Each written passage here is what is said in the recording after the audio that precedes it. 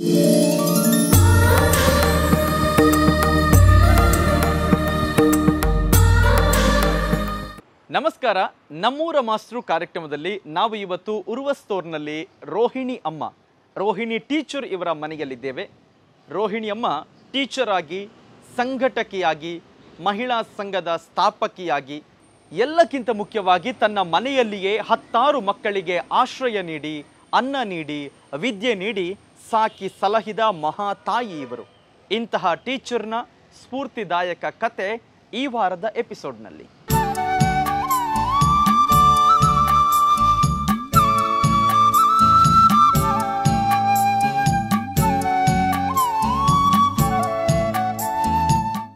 ನಮಸ್ಕಾರ. ನಾನು K A Rohini. ನನ್ನ ಹುಟ್ಟೂರು ಬೆಳ್ತಂಗಡಿ ತಾಲೂಕಿನ ಬಡಕಗಜಿಕಾರು ಗ್ರಾಮದ ಜಂಕ್ಯಾರು ಎಂಬ ಮನೆಯಲ್ಲಿ ನನ್ನ ತಂದೆ ದಿವಂಗತ ಕೆ ಎ ಚಂದಪ್ಪ ಪೂಜಾರಿ, ತಾಯಿ ಬಿ ಕೃಷ್ಣಮ್ಮ. ನಾನು ತೀರಾ ಹಳ್ಳಿಯಲ್ಲಿ ಹುಟ್ಟಿ ಬೆಳೆದವಳು.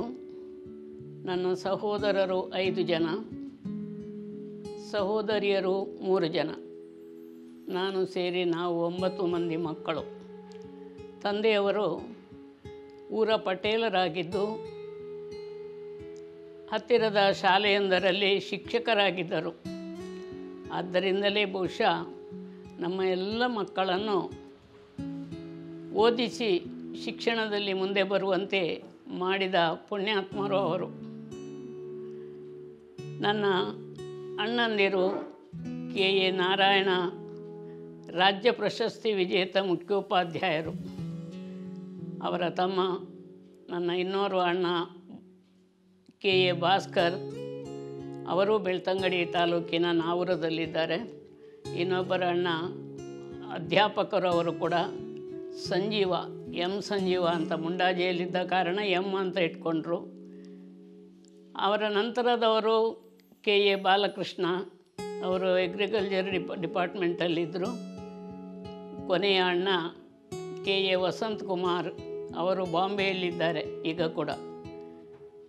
ಆನಂತರ ನಾನು, ನನ್ನ ನಂತರ ಇಬ್ಬರು ತಂಗಿಯಂದಿರು, ಕೆ. ಎ. ಪುಷ್ಪಾವತಿ ಮತ್ತು ಆಕೆ ಕೂಡ ಶಿಕ್ಷಕಿಯಾಗಿದ್ದು ವಿವಾಹದ ನಂತರ ಮನೆಯಲ್ಲಿರುವುದು. ಇನ್ನೋರ್ವ ಕೊನೆಯ ತಂಗಿ ಕೆ. ಎ. ಸುಲೋಚನಾ ಸುಂಕದಕಟ್ಟೆ ನಿರಂಜನ ಸ್ವಾಮಿ ಕಾಲೇಜಿನಲ್ಲಿ, ಪಿ. ಯು. ಕಾಲೇಜಿನಲ್ಲಿ ಪ್ರಾಂಶುಪಾಲೆಯಾಗಿ ರಿಟೈರ್ಡ್ ಆಗಿ ಈಗ ಗೃಹಿಣಿಯಾಗಿ ಮನೆಯಲ್ಲಿದ್ದಾಳೆ. ಇದು ನಮ್ಮ ಕುಟುಂಬದ ವಿವರ. ಸಾವಿರದ ಒಂಬೈನೂರ ಅರವತ್ತೆಂಟರಲ್ಲಿ ವಿವಾಹವಾಗಿ ನಾನು ಮಂಗಳೂರಿಗೆ ಬಂದ ನಂತರ ಇಲ್ಲಿ ಮಂಗಳೂರಿನಲ್ಲಿ ನೆಲೆ ನಿಂತೆ. ನನ್ನ ಯಜಮಾನರು ಬಿ ಎಂ ಪೂಜಾರಿ, ಇವರು ಫಿಶರೀಸ್ ಡಿಪಾರ್ಟ್ಮೆಂಟಲ್ಲಿ ಅಸಿಸ್ಟೆಂಟ್ ಡೈರೆಕ್ಟರ್ ಆಫ್ ಫಿಶರೀಸ್ ಆಗಿ ರಿಟೈರ್ಡ್ ಆದರು. ನಮಗೆ ಇಬ್ಬರು ಮಕ್ಕಳು. ದೊಡ್ಡವನು ರಾಜೇಶ್ ಎಂ ದುಬೈಯಲ್ಲಿದ್ದಾನೆ. ಉದ್ಯೋಗದಲ್ಲಿದ್ದಾನೆ. ಅವನ ಹೆಂಡತಿ ವೀಣಾ, ಅವನಿಗೆ ಇಬ್ಬರು ಮಕ್ಕಳು. ನಿಖಿತಾ ಮತ್ತು ಆಯುಷ್ ಕಾಲೇಜಿನಲ್ಲಿ ವಿದ್ಯಾಭ್ಯಾಸ ಮಾಡ್ತಾ ಇದ್ದಾರೆ ಇಲ್ಲಿ. ಎರಡನೇ ಮಗ ರೋಷನ್ ಎಂ. ಸಾಲಿಯಾನ್, ಅವನು ಕೂಡ ದುಬೈಯಲ್ಲಿದ್ದ. ಮತ್ತು ನನ್ನ ಕರೆಗೆ ಒಟ್ಟು ಊರಿಗೆ ಬಂದು ನನ್ನ ಸೊಸೆ ವೇದಾವತಿ, ಅವಳು ಮುಡಿಪು ಶಾಲೆಯೊಂದರಲ್ಲಿ ಪ್ರಾಂಶುಪಾಲೆಯಾಗಿದ್ದಾಳೆ. ಅವರಿಗೆ ಒಬ್ಬಳೆ ಮಗಳು, ಮೇಧಾ ರೋಷನ್ ಸ್ವರ್ಣ ಅಂತ. ಇವಾಗ ಪಿ ಯು ಸಿ ಮುಗಿಸಿದ್ದಾಳೆ ಅಷ್ಟೇ.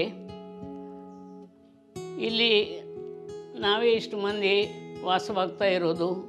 ಈ ಮನೆಯನ್ನು ನಾವು ಕಟ್ಟಿಸಿ ಸುಮಾರು ಮೂವತ್ತೈದು ವರ್ಷಗಳ ಹಿಂದೆ ಇಲ್ಲಿ ನೆಲೆ ನಿಂತವರು ಇಲ್ಲಿಯೇ ಇದ್ದೇವೆ ನಾವು. ನನ್ನ ಶಿಕ್ಷಣವು ಹಳ್ಳಿಯಲ್ಲಿ ಬಹಳ ಕಷ್ಟದಲ್ಲಿ ನಾವು ವಿದ್ಯಾಭ್ಯಾಸ ಮಾಡಿದವರು. ದಿನಕ್ಕೆ ಬೆಳಿಗ್ಗೆ ಎದ್ದು ನಾಲ್ಕೈದು ಮೈಲು ನಡ್ಕೊಂಡು ಹೋಗಬೇಕಾಗಿತ್ತು ಶಾಲೆಗೆ. ಹಾಗೆಯೇ ಮಧ್ಯಾಹ್ನ ಊಟಕ್ಕೆ ಬುತ್ತಿ ಹಿಡ್ಕೊಂಡು ಹೋಗಿ ಸಂಜೆ ತಿರುಗಿ ಐದು ಗಂಟೆ ಹೊತ್ತಿಯ ನಂತರ ಮನೆಗೆ ಬರ್ತಾಯಿದ್ದೆವು ಎಸ್ ಎಸ್ ಎಲ್ ಸಿ ಮಾಡಿದ್ದು ನಾನು. ಪುಂಜಾಲ್ಕಟ್ಟೆ ಹೈಸ್ಕೂಲ್ನಲ್ಲಿದ್ದು ಅಲ್ಲಿ ಓದಿದ ನಂತರ ಒಂದು ವರ್ಷಕ್ಕೆ ಉಪ್ಪಿನಂಗಡಿ ಹೈಸ್ಕೂಲಿಗೆ ಹೋದೆ. ಉಪ್ಪಿನಂಗಡಿ ಸರ್ಕಾರಿ ಶಾಲೆಯಲ್ಲಿ ಎಸ್ ಎಸ್ ಎಲ್ ಸಿ ಪರೀಕ್ಷೆ ಸಾವಿರದ ಒಂಬೈನೂರ ಅರವತ್ತ ಒಂದರಲ್ಲಿ ಕಟ್ಟಿದೆ. ಆನಂತರ ನನಗೆ ಸ್ವಲ್ಪ ಬಿಡು ಸಮಯದಲ್ಲಿ ಹಿಂದಿ ಕಲಿಯುವ ಆಸೆ ಆಯಿತು.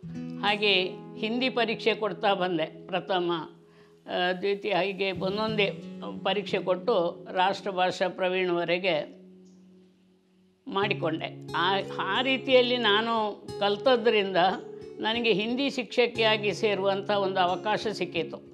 ಪ್ರೈಮರಿ ಶಾಲೆಯಲ್ಲಿ ಪ್ರಥಮವಾಗಿ ನಾನು ಮಾಣಿ ಸರ್ಕಾರಿ ಹಿರಿಯ ಪ್ರಾಥಮಿಕ ಶಾಲೆಯಲ್ಲಿ ಶಿಕ್ಷಕಿಯಾಗಿ ಸೇರಿಕೊಂಡದ್ದು. ಅಲ್ಲಿಂದ ವರ್ಗಾವಣೆಗೊಂಡು ಬೆಳ್ತಂಗಡಿಯ ಕುವೆಟ್ಟು ಹಿರಿಯ ಪ್ರಾಥಮಿಕ ಶಾಲೆಗೆ ಬಂದಿದ್ದೆ. ಆನಂತರ ಅಲ್ಲಿಂದ ಉಜಿರೆಯಲ್ಲಿ ಧರ್ಮಸ್ಥಳದ ರತ್ನೋರ್ಮ ಹೆಗಡೆಯವರ ಶಾಲೆ ಆಗ ಅಲ್ಲಿ ಜನಾರ್ದನ ಬುನಾದಿ ಶಾಲೆ ಅಂತ ಇತ್ತು ಹೆಸರು. ಈಗ ಅದು ಮಂಜುನಾಥೇಶ್ವರ ಹಿರಿಯ ಪ್ರಾಥಮಿಕ ಶಾಲೆ ಆಗಿದೆ. ಅಲ್ಲಿ ಶಿಕ್ಷಕಿಯಾಗಿ ಸೇರಿಕೊಂಡೆ. ಅಲ್ಲಿಂದ ನಂತರ ಬೇರೆ ಬೇರೆ ಶಾಲೆ ಕಾಟಿಪಲ್ಲಕ್ಕೆ ಬಂದೆ ಇಲ್ಲಿ. ಅಲ್ಲಿಂದ ಸೈಂಟ್ ಪೀಟರ್ಸ್ ಹಿರಿಯ ಪ್ರಾಥಮಿಕ ಶಾಲೆ ಕೊಟ್ಟಾರ. ಅಲ್ಲಿಗೆ ಬಂದೆ. ಅಲ್ಲಿಂದ ಪದೋನ್ನತಿ ಪಡೆದು ಕ್ಯಾಥೋಲಿಕ್ ಬೋರ್ಡು ಶಾಲೆಯಲ್ಲಿ ನಾನು ಶಿಕ್ಷಕಿಯಾಗಿದ್ದೆ ಅಲ್ಲಿಯ ಫಾದರ್ನವರು ನನಗೆ ಪ್ರಮೋಷನ್ ಕೊಟ್ಟು ನನ್ನನ್ನು ಪಾಂಪೆ ಹೈಸ್ಕೂಲ್ ಉರುವ, ಇಲ್ಲಿ ಹಿಂದಿ ಶಿಕ್ಷಕಿಯಾಗಿ ನೇಮಿಸಿದರು. ಹೀಗೆ ಪ್ರೌಢಶಾಲೆಗೆ ಬಂದ ಮೇಲೆ ಅಲ್ಲಿ ಸುಮಾರು ಎಂಬತ್ತ, ಸಾವಿರದ ಒಂಬೈನೂರ ಎಂಬತ್ತೈದರಿಂದ ನಿವೃತ್ತಿ ಹೊಂದುವವರೆಗೆ ಸಾವಿರದ ಎರಡು ಸಾವಿರದ ಒಂದರವರೆಗೆ ನಾನು ದೀರ್ಘ ಸೇವೆಯನ್ನು ಪಾಂಪೆ ಪ್ರೌಢಶಾಲೆಯಲ್ಲಿ ಮಾಡಿರುವೆ. ಆಗ ಅಲ್ಲಿ ಮುಖ್ಯೋಪಾಧ್ಯಾಯನಾಗಿದ್ದವರು ಸಿಲ್ವಿಯಾ ಮಂತೇರು, ಈಗಲೂ ಊರ್ವದಲ್ಲಿದ್ದಾರೆ. ಅವರು ನನಗೆ ತುಂಬ ಸಹಕಾರವನ್ನು ಕೊಟ್ಟಿದ್ದಾರೆ. ಹಾಗೆ ಅಲ್ಲಿ ನನ್ನ ಜೊತೆಯಲ್ಲಿದ್ದವರು ಶ್ರೀಮತಿಯರಾದ Arundhati ವೀರಾವ್ I C, Maria D'Souza ಹಾಗೂ ಇನ್ನಿತರ ಶಿಕ್ಷಕ ವೃಂದದವರು ಕೂಡ ಎಲ್ಲರೂ ಒಳ್ಳೆಯ ರೀತಿಯ ಸಹಕಾರವನ್ನು ಕೊಟ್ಟ ಕಾರಣ ಶಿಕ್ಷಕಿ ವೃತ್ತಿಯಲ್ಲಿ ನಾನು ಒಳ್ಳೆಯ ಅನುಭವವನ್ನು ಪಡೆದಿದ್ದೇನೆ, ಸಂತೋಷವನ್ನು ಪಡೆದಿದ್ದೇನೆ ಅಂತ ಹೇಳಲಿಕ್ಕೆ ತುಂಬ ಹೆಮ್ಮೆ ಎನಿಸ್ತದೆ. ಹಿಂದಿನ ಕಾಲ ಅಂದರೆ ಸ್ವಲ್ಪ ನಾವು ಕ, ನಾನು ಕಲಿಸ್ತಿದ್ದಂಥ ಸಮಯದಲ್ಲಿ ಒಳ್ಳೆಯ ಭಾವನೆ ಒಂದು ಮಾನವೀಯ ಸಂಬಂಧಗಳು ಗುರು ಶಿಷ್ಯರಲ್ಲಿ ಇತ್ತು. ಈಗ ನನಗೆ ನೋಡ್ತಾ ಇರುವಾಗ ಬಹುಶಃ ಅಂಥ ಸಂಬಂಧಗಳು, ಸನ್ನಿವೇಶಗಳು ಕಾಣ್ತಾ ಇಲ್ಲ. ಈಗ ಏನು ಹೇಳ್ತಾರೆ, ಇಂಟರ್ನೆಟ್ ಯುಗ, ಕಾಲ ಬದಲಾಗಿದೆ ಅಂತ. ಕಾಲ ಬದಲಾಗಲಿಲ್ಲ, ಮನುಷ್ಯರು ಬದಲಾಗಿದ್ದಾರೆ ಅಂತ ನನಗೆ ಅನ್ನಿಸ್ತದೆ. ಮಕ್ಕಳಿಗಂತೂ ಮೊಬೈಲ್ ಒಂದು ಕೈಯಲ್ಲಿ ಹಿಡಿದ್ರೆ ಯಾರು ಬಂದರೂ ಯಾರು ಹೋದರೂ ಗೋಚರವೇ ಇರುವುದಿಲ್ಲ ಮನೆಗೆ. ಮಕ್ಕಳು ಹೇಳಿದ ಹಾಗೆ ಹಿರಿಯರು ಕೇಳಬೇಕು. ಹಿಂದೆ ಹಾಗೆ ಅಲ್ಲ, ಹಿರಿಯರು ಹೇಳಿದ ಹಾಗೆ ಮಕ್ಕಳು ಕೇಳ್ತಾ ಇದ್ದರು ಈ ರೀತಿಯ ಬದಲಾವಣೆಯನ್ನು ನಾನು ಗಮನಿಸ್ತಾ ಇದ್ದೇನೆ. ಬಿ ಎಂ ರೋಹಿಣಿ ಅವರು ಬಹುಶಃ ಶಿಕ್ಷಕಿಯಾಗಿ, ಸಂಘಟಕಿಯಾಗಿ ಕೆಲಸವನ್ನು ಮಾಡಿದವರು. ಅದರ ಆಚೆ ಅವರ ಒಂದು ಮಾನವೀಯ ಕಾರ್ಯಗಳು, ಬಹುಶಃ ಎಲ್ಲೂ ಕೂಡ ಅವರು ಇದನ್ನು ತನ್ನ ಪ್ರಚಾರಕ್ಕೋಸ್ಕರ ಮಾಡಿಲ್ಲ, ಅಥವಾ ಇದನ್ನು ಎಲ್ಲೂ ಕೂಡ ಹೇಳ್ಕೊಂಡು ಬಂದಿಲ್ಲ. ಅವರಿಗೆ ಎರಡು ಮಕ್ಕಳಾದರೆ ಮನೆಯಲ್ಲಿ ಹತ್ತಕ್ಕೂ ಅಧಿಕ ಮಕ್ಕಳನ್ನು ಸಾಕಿ ಅವರ ಶಿಕ್ಷಣದ ಫೀಸನ್ನು ಕೊಟ್ಟು ಅವರ ಸಂಪೂರ್ಣ ಒಂದು ಜೀವನದ ಜವಾಬ್ದಾರಿಯನ್ನು ವಹಿಸಿಕೊಂಡು ಕೂಡ ಬಿ ಎಂ ರೋಹಿಣಿ ಅವರು ಕಾರ್ಯವನ್ನು ನಿರ್ವಹಿಸಿದ್ದಾರೆ. ಅಂತಹ ಒಂದು ಘಟನೆ ಒಬ್ಬ ವಿದ್ಯಾರ್ಥಿ ಹನ್ನೆರಡು ರೂಪಾಯಿ ಫೀಸನ್ನು ಕಟ್ಟಲಿಕ್ಕೆ ಕಷ್ಟ ಇರುತ್ತೆ. ಅಂದರೆ ಆಗಿನ ಕಾಲದಲ್ಲಿ ಹನ್ನೆರಡು ರೂಪಾಯಿ ಅಂತ ಹೇಳಿದರೆ ಅದು ದೊಡ್ಡ ಅಮೌಂಟ್ ಯಾಕಂದರೆ ಬಿ ಎಂ ರೋಹಿಣಿ ಅವರಿಗೀಗ ಎಪ್ಪತ್ತ ಎಂಟು ವರ್ಷ ವಯಸ್ಸು. ಆ, ವಿದ್ಯಾರ್ಥಿ ಅಳ್ತಾ ಇರ್ತಾನೆ. ಆತನನ್ನ ಕ್ಲಾಸ್ ರೂಮ್ನಿಂದ ಏನು ಅವರ ಬಳಿ ಕರೆಸ್ಕೊಂಡು ಆತನ ಕಥೆಯನ್ನ ಕೇಳ್ತಾರೆ. ಆ ನಂತರ ಆತ ಏನಾದ ಇದರ ಬಗ್ಗೆ ನಾನು ರೋಹಿಣಿ ಅವ್ರ ಹತ್ರನೇ ಮಾತಾಡಿಸ್ತೇನೆ. ಎಷ್ಟನೇ ಇಸವಿಯಲ್ಲಿ ಆಗಿರೋದಮ್ಮ ಈ ಘಟನೆ? ಒಬ್ಬ ವಿದ್ಯಾರ್ಥಿ ಫೀಸ್ ಕಟ್ಟಲಿಕ್ಕೆ ಹಣ ಇಲ್ಲ ಅಂತ ಹೇಳಿ ಕೂಗ್ತಾ ಸಾವಿರದ ಒಂಬೈನೂರ ಅರವತ್ತ ಒಂದು ಅರವತ್ತೆರಡನೇ ಇಸವಿಯಲ್ಲಿ ಅರವತ್ತೊಂದರಲ್ಲಿ ಅರವತ್ತೊಂದು ಹೌದು ಅರವತ್ತು ನೀವು ಎಲ್ಲಿ ಆಗ ಟೀಚ್ ಮಾಡಿ ಆಗ ನಾನು ಪ್ರಥಮವಾಗಿ ಮಾಣಿ ಹಿರಿಯ ಪ್ರಾಥಮಿಕ ಶಾಲೆಯಲ್ಲಿ ಕಲಿಸ್ತಾ ಇದ್ದೆ. ಓಕೆ ಪ್ರಥಮ ನನ್ನ ಜೀವನದ ಪ್ರಥಮ ವೃತ್ತಿ ಜೀವನದಲ್ಲಿ ಆ ಒಂದು ಘಟನೆ ನಡೆದಿರೋದು. ನಿಮ್ಮ ಕೆರಿಯರ್ ಸ್ಟಾರ್ಟ್ ಆಗಿರೋದೇ ಅಲ್ಲಿಂದ? ಹೌದು. ಓಕೆ ನೀವು ಆಗ ಎಷ್ಟನೇ ಕ್ಲಾಸಿಗೆ ಟೀಚ್ ಮಾಡ್ತಾ ಇರುವಾಗ ಹುಡುಗ ಕೂಗಿದ್ದದು ಅದು ನಾನು ಏಳನೇ ಕ್ಲಾಸಿಗೆ ಪಾಠ ಮಾಡ್ತಾ ಇರುವಾಗ. ಓಕೆ ನೀವು ಹಿಂದಿ ಕಲಿಸ್ತಾ ಇದ್ದೀರಿ? ಹಿಂದಿ ಕಲಿಸ್ತಾ ಇದ್ದೆ ಆಗ ಓಕೆ ಅಂದರೆ ಹೈಸ್ಕೂಲ್ಗೆ ಹೋಗ್ಲಿಕ್ಕೆ ಆತನ ಹತ್ರ ಹಣ ಇರಲಿಲ್ಲ? ಇಲ್ಲ ಖಂಡಿತ ಇಲ್ಲ. ಆ ಹುಡುಗನ ಹೆಸರೇನು? ಆ- ಆ ಹುಡುಗನ ಹೆಸರು ಮಾರ್ಕೋ ವೇಗಸ್. ಮಾರ್ಕೋ ವೇಗಸ್ ಅಂತ ಹೇಳಿ. Marco Vegas. ಓಕೆ ಸೊ ಏನು ಮಾಡ್ತೀರಾ? ಅಂತ ಕರ್ಕೊಳ್ತೀರಾ? ಆತನ ಸ್ಟಾಫ್ ರೂಮ್ಗೆ ಬರ್ಲಿಕ್ಕೆ ಹೇಳಿದ್ರೆ ಏನು ಮಾ ಏನಾಯ್ತು? ಅದು ಕತೆ ಸ್ವಲ್ಪ ಹೇಳ್ಬೋದಾ? ಮಾರ್ಕ್ ವೆಗಸ್ ಎನ್ನುವಂಥ ಹುಡುಗ ಏಳನೇ ಕ್ಲಾಸ್ನಲ್ಲಿ ಮಾಣಿ ಶಾಲೆಯಲ್ಲಿ ಕಲಿತಾ ಇದ್ದದ್ದು. ಓಕೆ. ಅದು ಒಂದು ದಿನ ನಾನು ಹಿಂದಿ ಪಾಠ ಮಾಡುವಾಗ ನಾನು ಹೇಳಿದೆ ಈಗ ಖಾಸಗಿಯಾಗಿ ಪರೀಕ್ಷೆ ಕೂತ್ಕೊಳ್ಳುವ ಅವಕಾಶ ಇದೆ. ನಿಮಗೆ ಯಾರಿಗಾದರೂ ಇಷ್ಟ ಇದ್ದರೆ ನೀವು ಕೂತ್ಕೊಂಡು ಪಾಸ್ ಆಗ್ಬೋದು ಅಂತ ಹೇಳುವಾಗ ಒಂದು ನಾಲ್ಕೈದು ಮಕ್ಕಳು ಕೈ ಎತ್ತಿದ್ರು. ಓಕೆ. ಆಗ ನಾನು ಹೇಳಿದೆ ಮಾರ್ಕ್ ವೇಗಸ್ಗೂ ಕೂತ್ಕೊಳ್ಬೋದಲ್ಲ ಕಲೀಲಿಕ್ಕೆ ಭಾಳ ಹುಷಾರಿದ್ದ ಹುಡುಗ. ಬೇಡ ಟೀಚರು ಬೇಡ ಟೀಚರು ಬೇಡ ಟೀಚರ್. ಹೇಳಿದ ಇಲ್ಲಪ್ಪ ಕೂತ್ಕೊಳ್ಬಹುದು ನೀನು ಅಂತ ಹೇಳಿದರೆ ಕಣ್ಣಿಂದ ದಳ ದಳ ನೀರು ಹಿಡೀತು ಓಕೆ. ಅಯ್ಯೋ ಏನಪ್ಪ ಅಂತ ಆಯಿತು ನನ್ನ ಮನಸ್ಸಿನಲ್ಲಿ. ಅದಕ್ಕೆ ಹೇಳಿದೆ ಈಗ ಕೂತ್ಕೋ ಮತ್ತೆ ಆಫೀಸ್ ರೂಮಿಗೆ ಬಾ ಅಂತೇಳಿ ಮತ್ತೆ ಬಂದ ಮೇಲೆ ನಾನು ಕೇಳಿದೆ ಯಾಕೆ ಬೇಡ ಅಂತ ಹೇಳಿದ್ದು? ಅಲ್ಲ ನಾನು ಮಾವನ ಮನೆಯಲ್ಲಿ ಗದ್ದೆ ಉತ್ತು ಶಾಲೆಗೆ ಬರುವುದು. ಆ, ಕಷ್ಟ ಉಂಟು ನನಗೆ ಪುಸ್ತಕ ಕೊಡಲಿಕ್ಕೆ ಎಲ್ಲ ಅವರೇ ತೆಗೆದುಕೊಟ್ಟದ್ದು. ಇನ್ನು ನಾನು ಪುನಃ ಅವರಲ್ಲಿ ದುಡ್ಡು ಕೊಡಿ ಅಂತ ಕೇಳಿದರೆ ಅವರು ಕೊಡಲಿಕ್ಕಿಲ್ಲ. ಅದಕ್ಕೆ ನಾನು ಬೇಡ ಅಂತ ಹೇಳಿದ್ದು. ಓಕೆ. ಆಗ ನಾನು ಹೇಳಿದೆ ನಿನ್ನ ದುಡ್ಡು ನಾನು ಕಟ್ತೇನೆ ಪರೀಕ್ಷೆ ಕೂತ್ಕೊಳ್ತೀಯಪ್ಪ ಅಂತ. ಆಯಿತು ಅಂತ ಸಂತೋಷದಲ್ಲಿ ಒಪ್ಪಿ ಪರೀಕ್ಷೆ ಬರೆದು ಗೋಲ್ಡ್ ಮೆಡಲ್ ಚಿನ್ನದ ಪದಕ ಪಡೆದಂಥ ವಿದ್ಯಾರ್ಥಿ. ಗೋಲ್ಡ್ ಮೆಡಲ್ ಪಡ್ಕೊಂಡಿದ್ದಾನೆ. ಹೌದು ದಕ್ಷಿಣ ಭಾರತ ಹಿಂದಿ ಪ್ರಚಾರ ಸಭಾ ಪರೀಕ್ಷೆಗೆ ಕುತ್ಕೊಂಡು ಹಾಗೆ ನನಗೆ ತುಂಬ ಖುಷಿ ಆಯಿತು. ಮಕ್ಕಳಿಗೆ ಸ್ವಲ್ಪ ಪ್ರೇರಣೆ ಕೊಟ್ಟರೆ ಅವರು ಕಲಿತು ಸಮಾಜದಲ್ಲಿ ಮುಂದೆ ಬರಲಿಕ್ಕೆ ಆಗ್ತದೆ ಅನ್ನುವಂಥದ್ದು ನಾನು ಆ ವಿದ್ಯಾರ್ಥಿಯಿಂದ ಕಲ್ತ್ಕೊಂಡೆ. ಎಸ್ ಸಾವಿರದ ಒಂಬೈನೂರ ಅರವತ್ತ ಎರಡು ಅರವತ್ತೊಂದು ಅರವತ್ತೆರಡು. ಹೌದು. ಆಗಿನ ಹನ್ನೆರಡು ರೂಪಾಯಿ ಅಂತ ಹೇಳಿದರೆ ಅದು ದೊಡ್ಡ ಹಣ. ಹೌದು. ನಿಮಗೆಷ್ಟಿತ್ತು ಆಗ ಸಂಬಳ? ನಮಗೆ ಆಗ ಸಂಬಳ ಇದ್ದದ್ದು ಬರೀ ತೊಂಬತ್ತು ರೂಪಾಯಿ. ಹತ್ತು ರೂಪಾಯಿ ಡಿ ಎ. ಒಂದು ನೂರು ರೂಪಾಯಿಯ ಒಂದು ನೋಟು ಕೂಡ ನಮಗೆ ಖಂಡಿತ ಸಿಗ್ತಿರಲಿಲ್ಲ. ಆದರೂ ಐವತ್ತು ರೂಪಾಯಿ ಉಳಿತಿತ್ತು ಖರ್ಚು ಮಾಡಿ. ಎಲ್ಲ ಮಾಡಿ. ಮಾಡಿ. ಈಗ ಸಾವಿರಗಟ್ಟಲೆಯಲ್ಲಿ ಸಿಕ್ಕಿದ್ರು ಉಳಿಸ್ಲಿಕ್ಕೆ. ಆಗ್ತಾ ಇಲ್ಲ. ಬಹುಶಃ ಅವರ ಸಂಬಳದಲ್ಲಿ ಒಬ್ಬ ವಿದ್ಯಾರ್ಥಿದು ಫೀಸ್ ಕಟ್ಟಿ ಅವನಿಗೆ ಓದಿಸ್ತಾರೆ ಆತ ಚಿನ್ನದ ಪದಕದಲ್ಲಿ ಒಂದು ಪಾಸ್ ಆಗ್ತಾನೆ. ಹೌದು. ಆ ನಂತರ ಯುವಕ ಏನಾಗ್ತಾನೆ? ಅಂದ್ರೆ ಈಗ ಯಾವ ಪೊಸಿಷನ್ ಅಲ್ಲಿ ನಾನು ಮತ್ತೆ ಕೇಳಿದೆ ಪರೀಕ್ಷೆ ಆದ ಮೇಲೆ. ಏಳನೇ ಕ್ಲಾಸ್ನ ಪರೀಕ್ಷೆ ಆದಮೇಲೆ ಮುಂದೆ ಏನು ಮಾಡ್ತೀಯಪ್ಪ ಅಂತ ಕೇಳಿದೆ. ಓಕೆ ಶಾಲೆಗೆ ರಜೆ ಸಿಕ್ಕುವ ಮೊದಲೇ. ಆಗ ಹೇಳಿದ ಇಲ್ಲ ನಾನು ಊರಿಗೆ ಹೋಗ್ತೇನೆ ನನಗೆ ಕಲೀಲಿಕ್ಕೆ ಇನ್ನು ಮುಂದೆ ಕಲೀಲಿಕ್ಕೆ ಸಾಧ್ಯ ಇಲ್ಲ ಅಂತ. ಆಗ ಅವರ ಊರು ಪುಂಜಲ್ಕಟ್ಟೆ. ನಾವು ಸಹ ಪುಂಜಲ್ಕಟ್ಟೆ ಶಾಲೆಯಲ್ಲಿ ಕಲ್ತವಳು ನಾನು.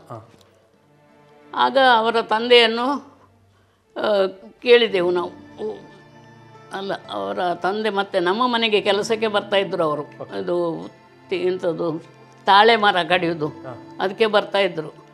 ಆಗ ಅಲ್ಲಿ ಬಂದಾಗ ಕೆಲವು ನೆನಪಿಗೆ ಬರ್ತಾ ಇಲ್ಲ ಈಗ ನನಗೆ ಮರ್ತೋಗ್ತದೆ ಹಾಗೆ.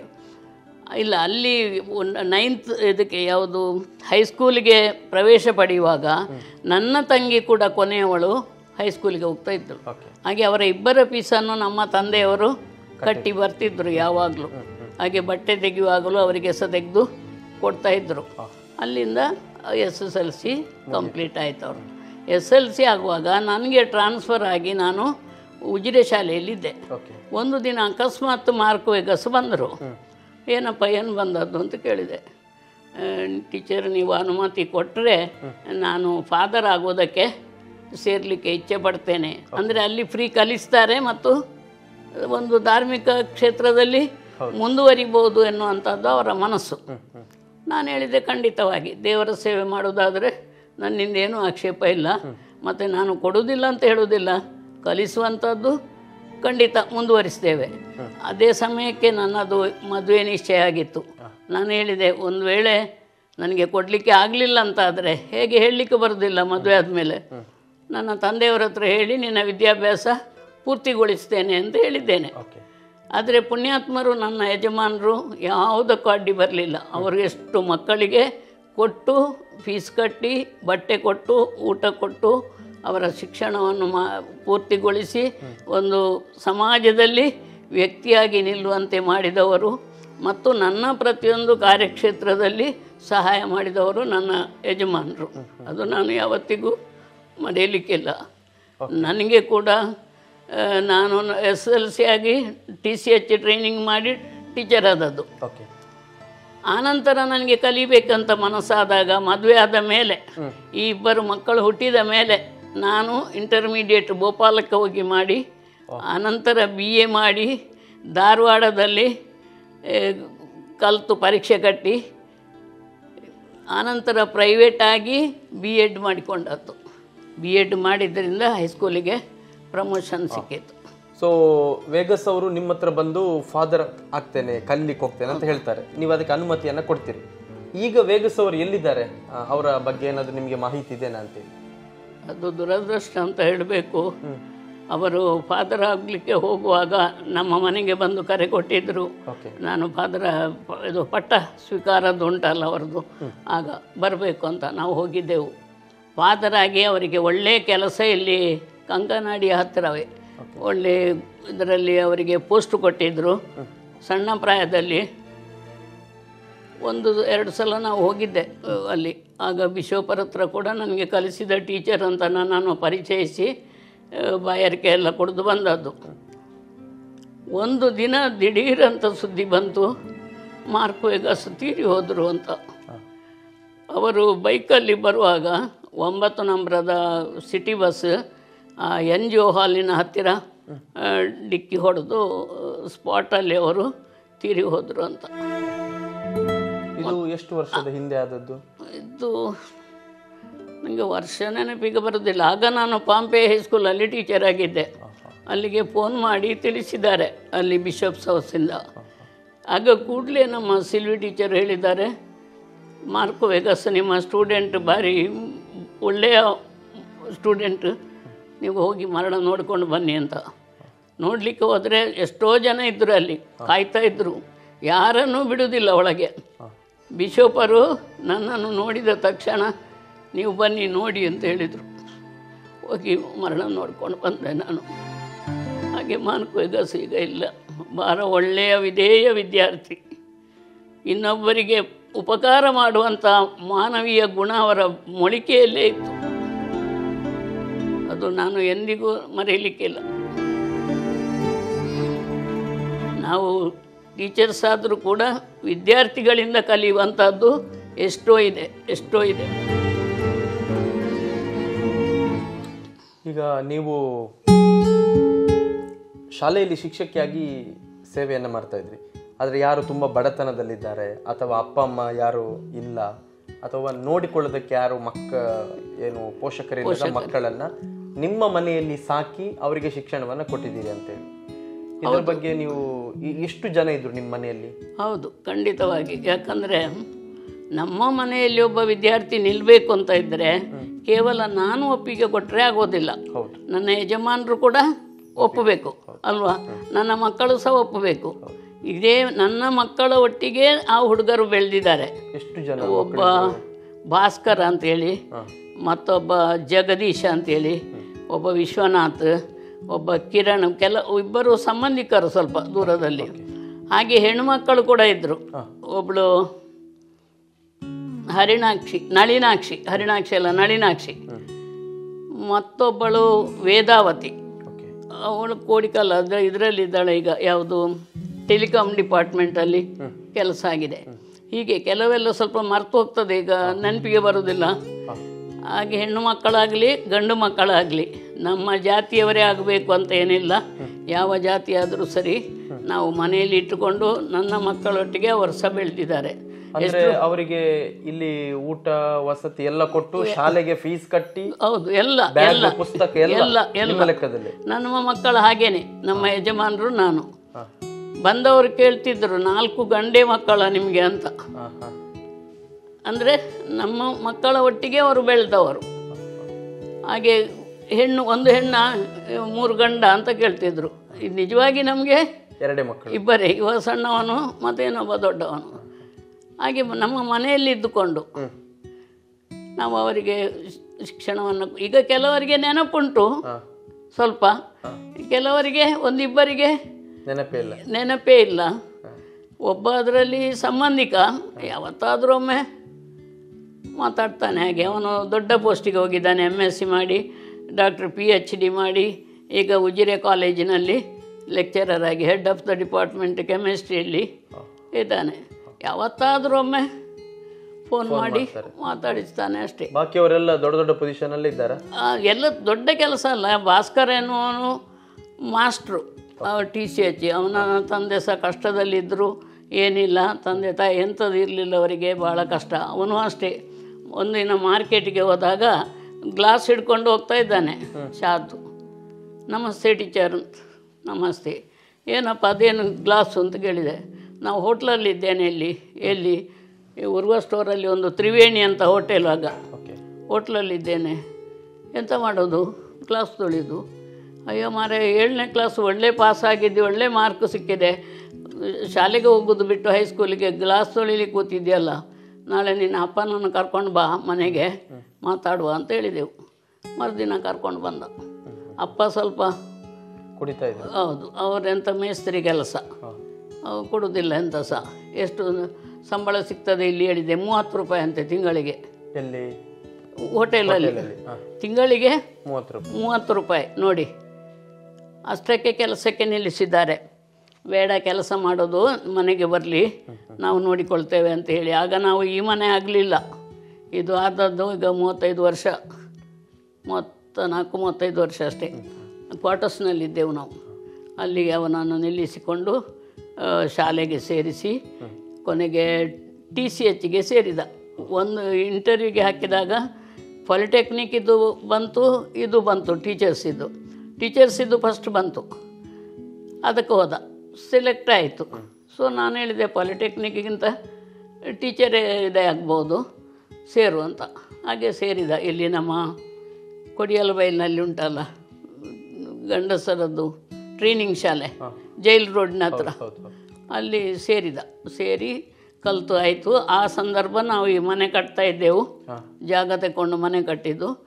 ತುಂಬ ಕೆಲಸ ಮಾಡಿದ್ದಾನೆ ಇಲ್ಲಿ. ಒಂದು ದಿನ ಕೂಡ ಬಂದರೆ ಕೂತ್ಕೊಳ್ಳೋದಿಲ್ಲ ನಮ್ಮೊಟ್ಟಿಗೆ ಇದ್ದ ಮತ್ತೆ ಹೋದ ಮೇಲೆ ಸಹ ಇವತ್ತಿಗೆ ಬಂದರೂ ಸುಮ್ಮನೆ ಇರೋದಿಲ್ಲ ಏನಾದರೂ ಮನೆಯವನಾಗೆ ಮಾಡಿಕೊಂಡು ಇರ್ತಾನೆ. ಹಾಗೆ ಆಯಿತು. ಮತ್ತು ನಮಗೆ ಮಡಂತಿಯರಲ್ಲಿ ಸ್ವಲ್ಪ ನನ್ನ ಯಜಮಾನರ ಜಾಗ ಉಂಟು ಒಂದು ಎರಡು ಎಕರೆ. ಆ ಜಾಗದಲ್ಲಿ ಅಲ್ಲಿ ಮನೆ ಇತ್ತು. ಆ ಮನೆಗೆ ಅವರು ಅಲ್ಲಿ ಕೂತ್ಕೊಳ್ಳಿ ಅಂತ ಹೇಳಿದೆವು. ಅಂದರೆ ಅವನ ತಂದೆ ತೀರಿ ಹೋದರು ಮತ್ತು ಅವರು ಹುಷಾರಿಲ್ಲದೆ ತೀರಿ ಹೋದರು. ಅಲ್ಲಿ ಕೂತ್ಕೊಂಡ್ರು ಅವರು. ಒಂದು ಮನೆ ಕೊಟ್ಟು ಅವರಿಗೆ ಕೊನೆಗೆ ಇವರು ಹೇಳಿದರು ನೀನು ಮನೆಯೆಲ್ಲ ಮನೆ ನೋಡಿಕೊಳ್ತಿದ್ದ ನಮ್ಮ ಜವಾಬ್ದಾರಿ ನಾವು ದೂರ ಇದ್ದೇವಲ್ಲ ನೋಡಿಕೊಳ್ತಿದ್ದ. ಅದಕ್ಕೆ ಹೇಳಿದರು ಐದು ಸೆನ್ಸ್ ಜಾಗ ನಿಮಗೆ ಫ್ರೀ ಕೊಡ್ತೇನೆ ಅಂತ. ಸೊ ಅವರಿಗೆ ಅವನ ಹೆಸರಿಗೆ ಐದು ಸೆನ್ಸ್ ಜಾಗ ಕೊಟ್ಟು ಅವನ ಅಕ್ಕ ಅವನ ತಂಗಿ ಇಬ್ಬರು ತಂಗಿಯಂದಿರು ಎಲ್ಲರನ್ನು ಕರ್ಕೊಂಡು ಬಂದು ಎಲ್ಲರನ್ನು ಒಂದೊಂದು ಕಡೆಯಲ್ಲಿ ಇದಕ್ಕೆ ಹಾಕಿದ್ದೇವೆ ಶಿಕ್ಷಣಕ್ಕೆ. ಮಾಡಿದ್ದಾರೆ ತಂಗಿ ಟೀಚರ್ ಆಗಿದ್ದಾಳೆ ತಮ್ಮ ಒಂದು ಇದರಲ್ಲಿದ್ದಾನೆ ಯಾವುದು ಧರ್ಮಸ್ಥಳ. ಗ್ರಾಮಾಭಿವೃದ್ಧಿ ಯೋಜನೆಯ ಅದರಲ್ಲಿದ್ದಾನೆ. ಒಳ್ಳೆಯದಾಗಿದ್ದಾರೆ ದೇವ್ರ ದೇಹದಲ್ಲಿ ಎಲ್ಲರೂ ಒಳ್ಳೆಯದಾಗಿದ್ದಾರೆ ಯಾರೂ ಹಾಳಾಗಲಿಲ್ಲ. ನಮಗೆ ಸಂತೋಷ ಅದು. ಯಾಕಂದರೆ ನಮ್ಮ ನೀರು ಕುಡಿದವರು, ಅನ್ನ ತಿಂದವರು ಒಳ್ಳೆಯದಾಗಿದ್ದಾರೆ ನಮ್ಮ ನೆನಪು ಇವನಿಗೆ ಒಳ್ಳೆ ಉಂಟು, ಭಾಸ್ಕರನಿಗೆ ಉಂಟಲ್ಲ. ಪ್ರತಿ ಈಗಲೂ ಯಾವತ್ತಾದರೂ ಒಂದು ಸಲ ಬರ್ತಾನೆ ಮಾಸ್ಟ್ರ್ ಆದ. ಈಗ ಹೆಡ್ ಮಾಸ್ಟರ್ ಆಯಿತು ಪ್ರಮೋಷನ್ ಆಗಿ, ಮೊನ್ನೆ ಇತ್ತೀಚೆಗೆ. ಬೆಳ್ತಂಗಡಿಯಲ್ಲಿದ್ದಾನೆ. ಕುವೆಟು ಶಾಲೆಯಲ್ಲಿ. ಅದೇ ಶಾಲೆಯಲ್ಲಿ ನಾನು ಕಲಿಸಿದ್ದೇನೆ ಅವತ್ತು. ಮಾಣಿಯಿಂದ ಟ್ರಾನ್ಸ್ಫರ್ ಆಗಿ. ಈಗ ಅದೇ ಶಾಲೆಯಲ್ಲಿ ನನ್ನ ಸ್ಟೂಡೆಂಟ್ ಹೆಡ್ ಮಾಸ್ಟರ್ ಮೊನ್ನೆ ಫಂಕ್ಷನ್ ಮಾಡಿದರು. ಎಂಥದ್ದು ಬೆಳ್ಳಿ ಹಬ್ಬ ಶಾಲೆದ್ದು. ನಮ್ಮನ್ನೆಲ್ಲ ಕರೆದು ಸನ್ಮಾನಿಸಿದ್ದಾರೆ. ಅಲ್ಲಿ ಕೆಲಸ ಮಾಡಿದ ಟೀಚರ್ಸನ್ನೆಲ್ಲ ಕರೆದು ಸನ್ಮಾನ ಮಾಡಿದ್ದಾರೆ. ಆವಾಗ ನಾನು ಕೂಡ ಅವರನ್ನು ಗೌರವಿಸಿದೆ. ಈಗ ಒಳ್ಳೆಯ ಸ್ಥಿತಿಯಲ್ಲಿ ಹೆಡ್ ಮಾಸ್ಟರ್ ಆಗಿ ಇನ್ನೊಂದು ಬಹುಶಃ ಐದು ವರ್ಷ ಆರು ವರ್ಷ ಉಂಟೇನ ಅಷ್ಟಕ್ಕೆ ಒಳ್ಳೆಯ ಶಿಕ್ಷಕ ಆಗಿದ್ದಾರೆ. ಅಷ್ಟು ಮಾತ್ರ ಅಲ್ಲ ಮೊದಲಿದ್ದ ಒಂದು ಶಾಲೆಯಲ್ಲಿ ಅರುವತ್ತು ಅಡಿಕೆ ಸಸಿಗಳನ್ನು ನೆಟ್ಟು ಅದರ ಫಲ ಶಾಲೆಗೆ ಸಿಕ್ಕುವ ಹಾಗೆ ಮಾಡಿದ್ದಾನೆ. ಇದೆಲ್ಲಿ? ಅದು ಕುಕ್ಕೇಡಿ ಅಂತೇಳಿ ಪುಂಜಲ್ಗಟ್ಟೆ ಹತ್ರ. ಪುಂಜಲ್ಗಟ್ಟೆ ಪೇಟೆಯಿಂದ ಒಂದು ಮೈಲ್ ಒಳಗೆ ಹೋಗಬೇಕು. ಅರುವತ್ತು ಸಸಿ ಇಟ್ಟು ಈಗ ಅದು ಫಲ ಬರ್ತದೆ. ಅದರ ಫಲ ಶಾಲೆಗೆ ಸಿಗ್ತದೆ. ಆಮೇಲೆ ಶಾಲೆಗೆ ಪಂಪ್ ಸೆಟ್ ಇದು ಕಾಂಪೌಂಡ್ ವಾಲ್ ಎಲ್ಲ ಮಾಡಿಸಿ ಒಬ್ಬ ಆದರ್ಶ ಶಿಕ್ಷಕನಾಗಿದ್ದಾನೆ ಅಂತ ಹೇಳಲಿಕ್ಕೆ ಖಂಡಿತ ಹೆಮ್ಮೆ ಎನಿಸ್ತದೆ. ನಮಸ್ಕಾರ. ನಾನು ಭಾಸ್ಕರ್ ಮಡಂತ್ಯಾರ್ ಕೆ ಎ ರೋಹಿಣಿಯವರ ಓರ್ವ ವಿದ್ಯಾರ್ಥಿ. ಅದಕ್ಕಿಂತಲೂ ಮುಖ್ಯವಾಗಿ ಅವರು ನನಗೆ ತಾಯಿಗೆ ಸಮಾನರಾದವರು. ನನ್ನ ಮೊಡಕಗೊಂಡ ವಿದ್ಯಾಭ್ಯಾಸವನ್ನು ನೋಡಿ ಮುಂದುವರಿಸುವುದಕ್ಕೆ ಪ್ರೋತ್ಸಾಹವನ್ನು ನೀಡಿ ಸರ್ವ ವೆಚ್ಚವನ್ನು ಭರಿಸಿ ನನಗೆ ವಿದ್ಯೆಯನ್ನು ಕೊಟ್ಟು ನನ್ನನ್ನು ಅಧ್ಯಾಪಕನಾಗಿ ಮಾಡಿದ ಕೀರ್ತಿ ಅವರಿಗಿದೆ. ನಮಸ್ಕಾರ. ನಾನು Sujatha Madantyaru K. A. Rohini teacher. ಇವರ ಬಗ್ಗೆ ಸುಮಾರು ಇಪ್ಪತ್ತಾರು ವರ್ಷಗಳಿಂದ ನನಗೆ ಅವರ ಪರಿಚಯ. ಕಾರಣ, ಅವರು ನನ್ನ ಪತಿಯ ಗುರುಗಳು. ನಾನು ಕಂಡುಕೊಂಡ ಹಾಗೆ ಇವರ ಎಲ್ಲರೂ ಗೌರವಿಸುವಂತ ವಿಶೇಷ ವ್ಯಕ್ತಿತ್ವವುಳ್ಳವರು. ಒಬ್ಬರು ಒಂದು ಸ್ತ್ರೀ ಮನಸ್ಸು ಮಾಡಿದರೆ ಏನನ್ನು ಕೂಡ ಸಾಧಿಸಬಹುದು. ಸ್ತ್ರೀ ಅಬಲೆ ಅಲ್ಲ ಸಬಲೆ ಎಂಬುದನ್ನು ಸಾಧಿಸಿ ತೋರಿಸಿದ್ದಾರೆ.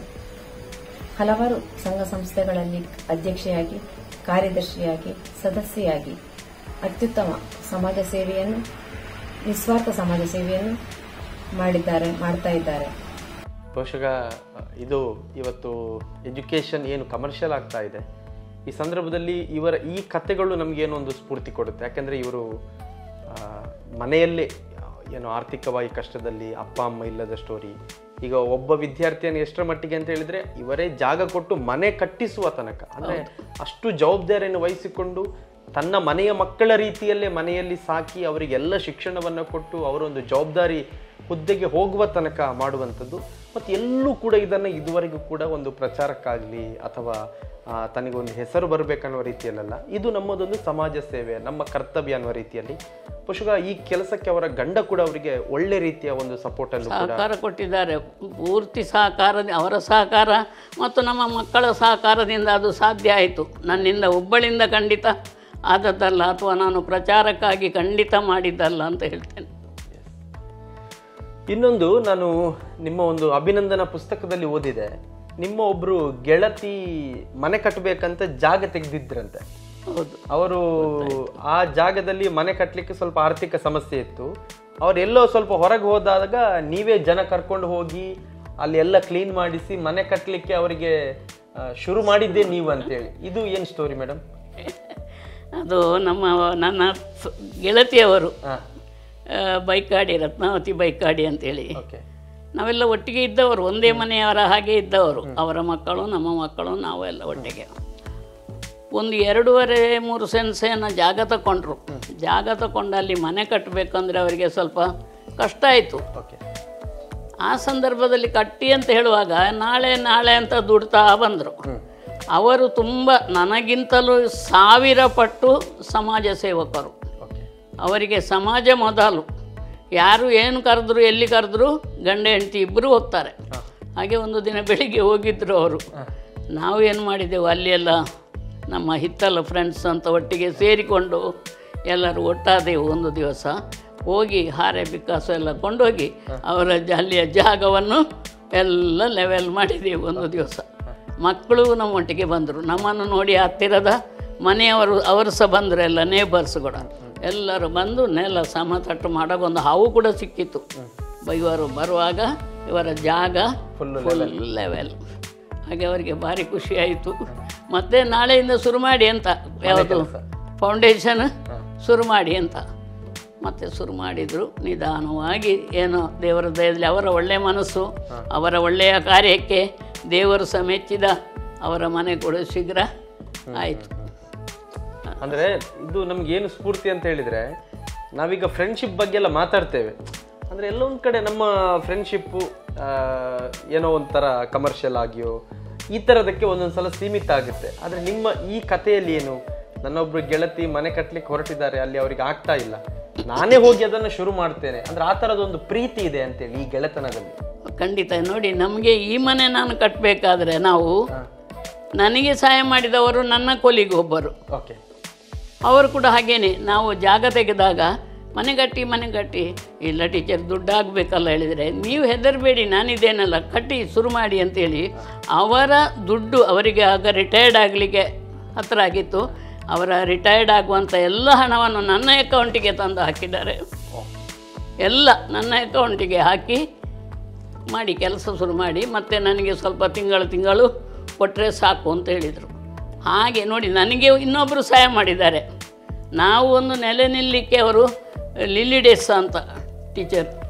ಅವರು ಇತ್ತೀಚೆಗೆ ಒಂದು ಎರಡು ಮೂರು ವರ್ಷದ ಹಿಂದೆ ತೀರಿಕೊಂಡ್ರು ತೊಂಬತ್ತ ಏಳು ತೊಂಬತ್ತೆಂಟು ವರ್ಷದಲ್ಲಿ.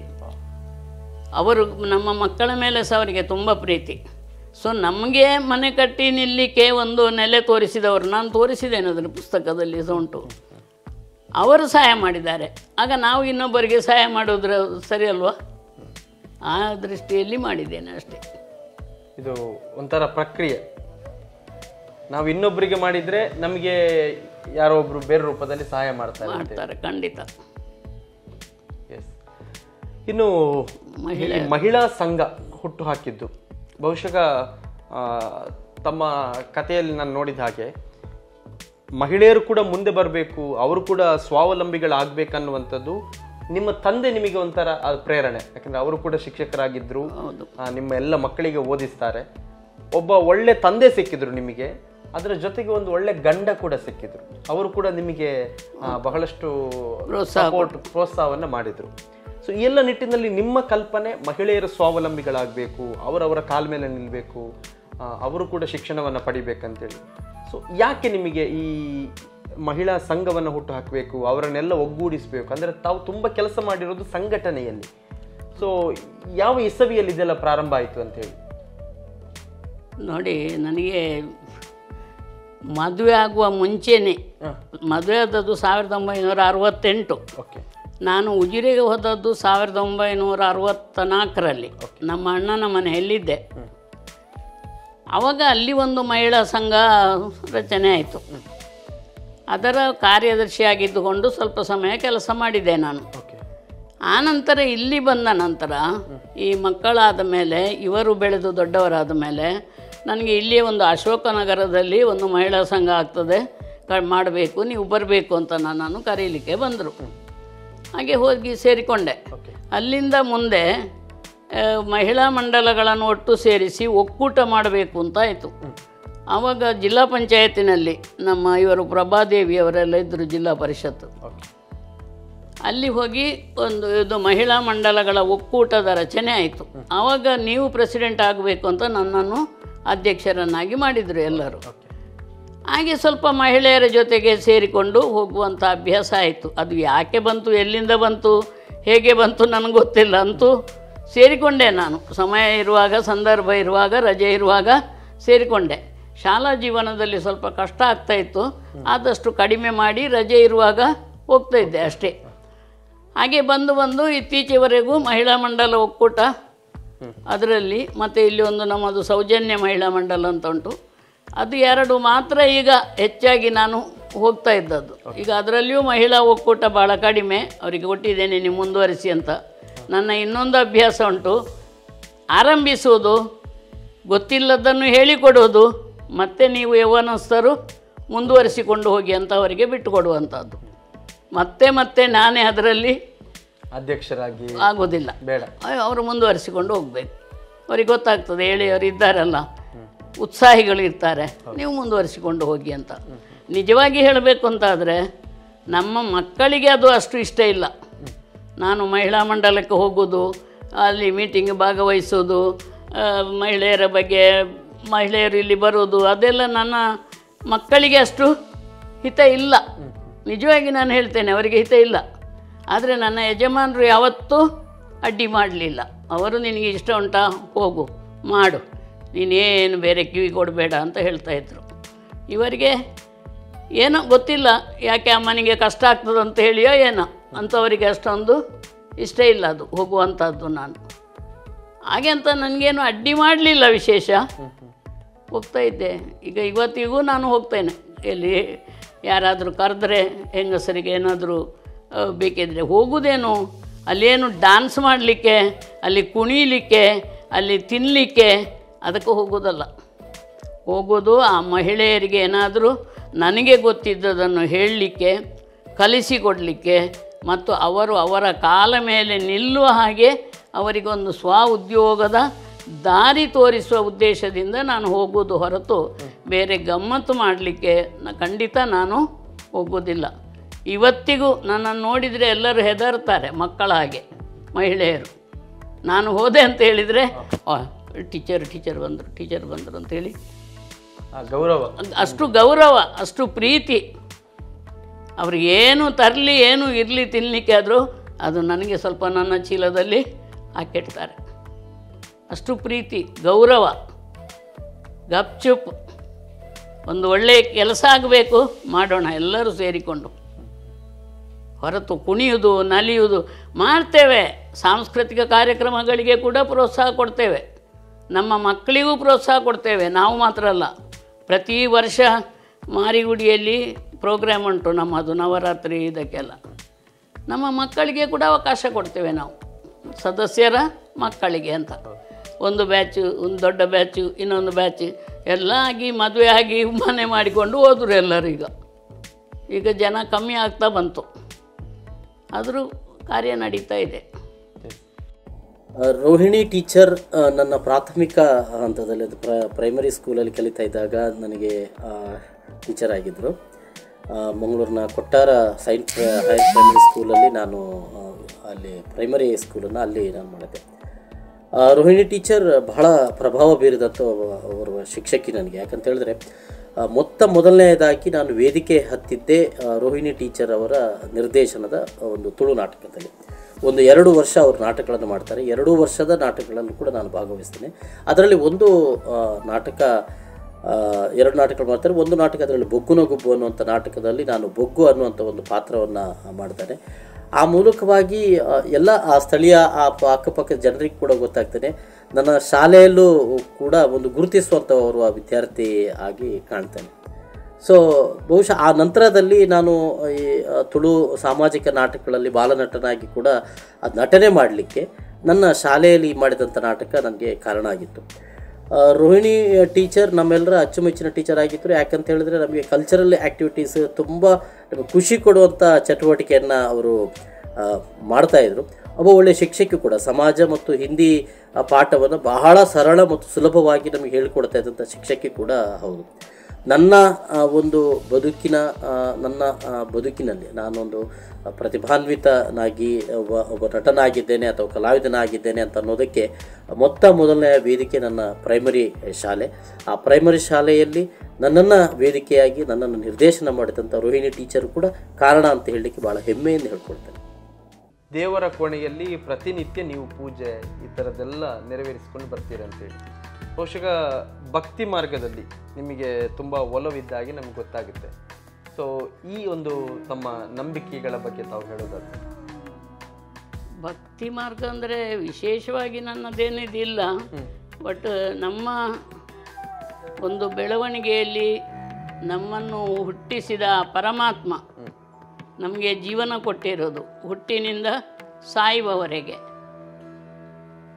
ಯಾವ ರೀತಿಯಲ್ಲಿ ನಾವು ಇರಬೇಕು ಹೇಗಿರಬೇಕು ಎನ್ನುವುದರ, ಎನ್ನುವುದನ್ನು ಕಲಿಸಿಕೊಡುವಂತಹದ್ದು ಆ ದೇವರು.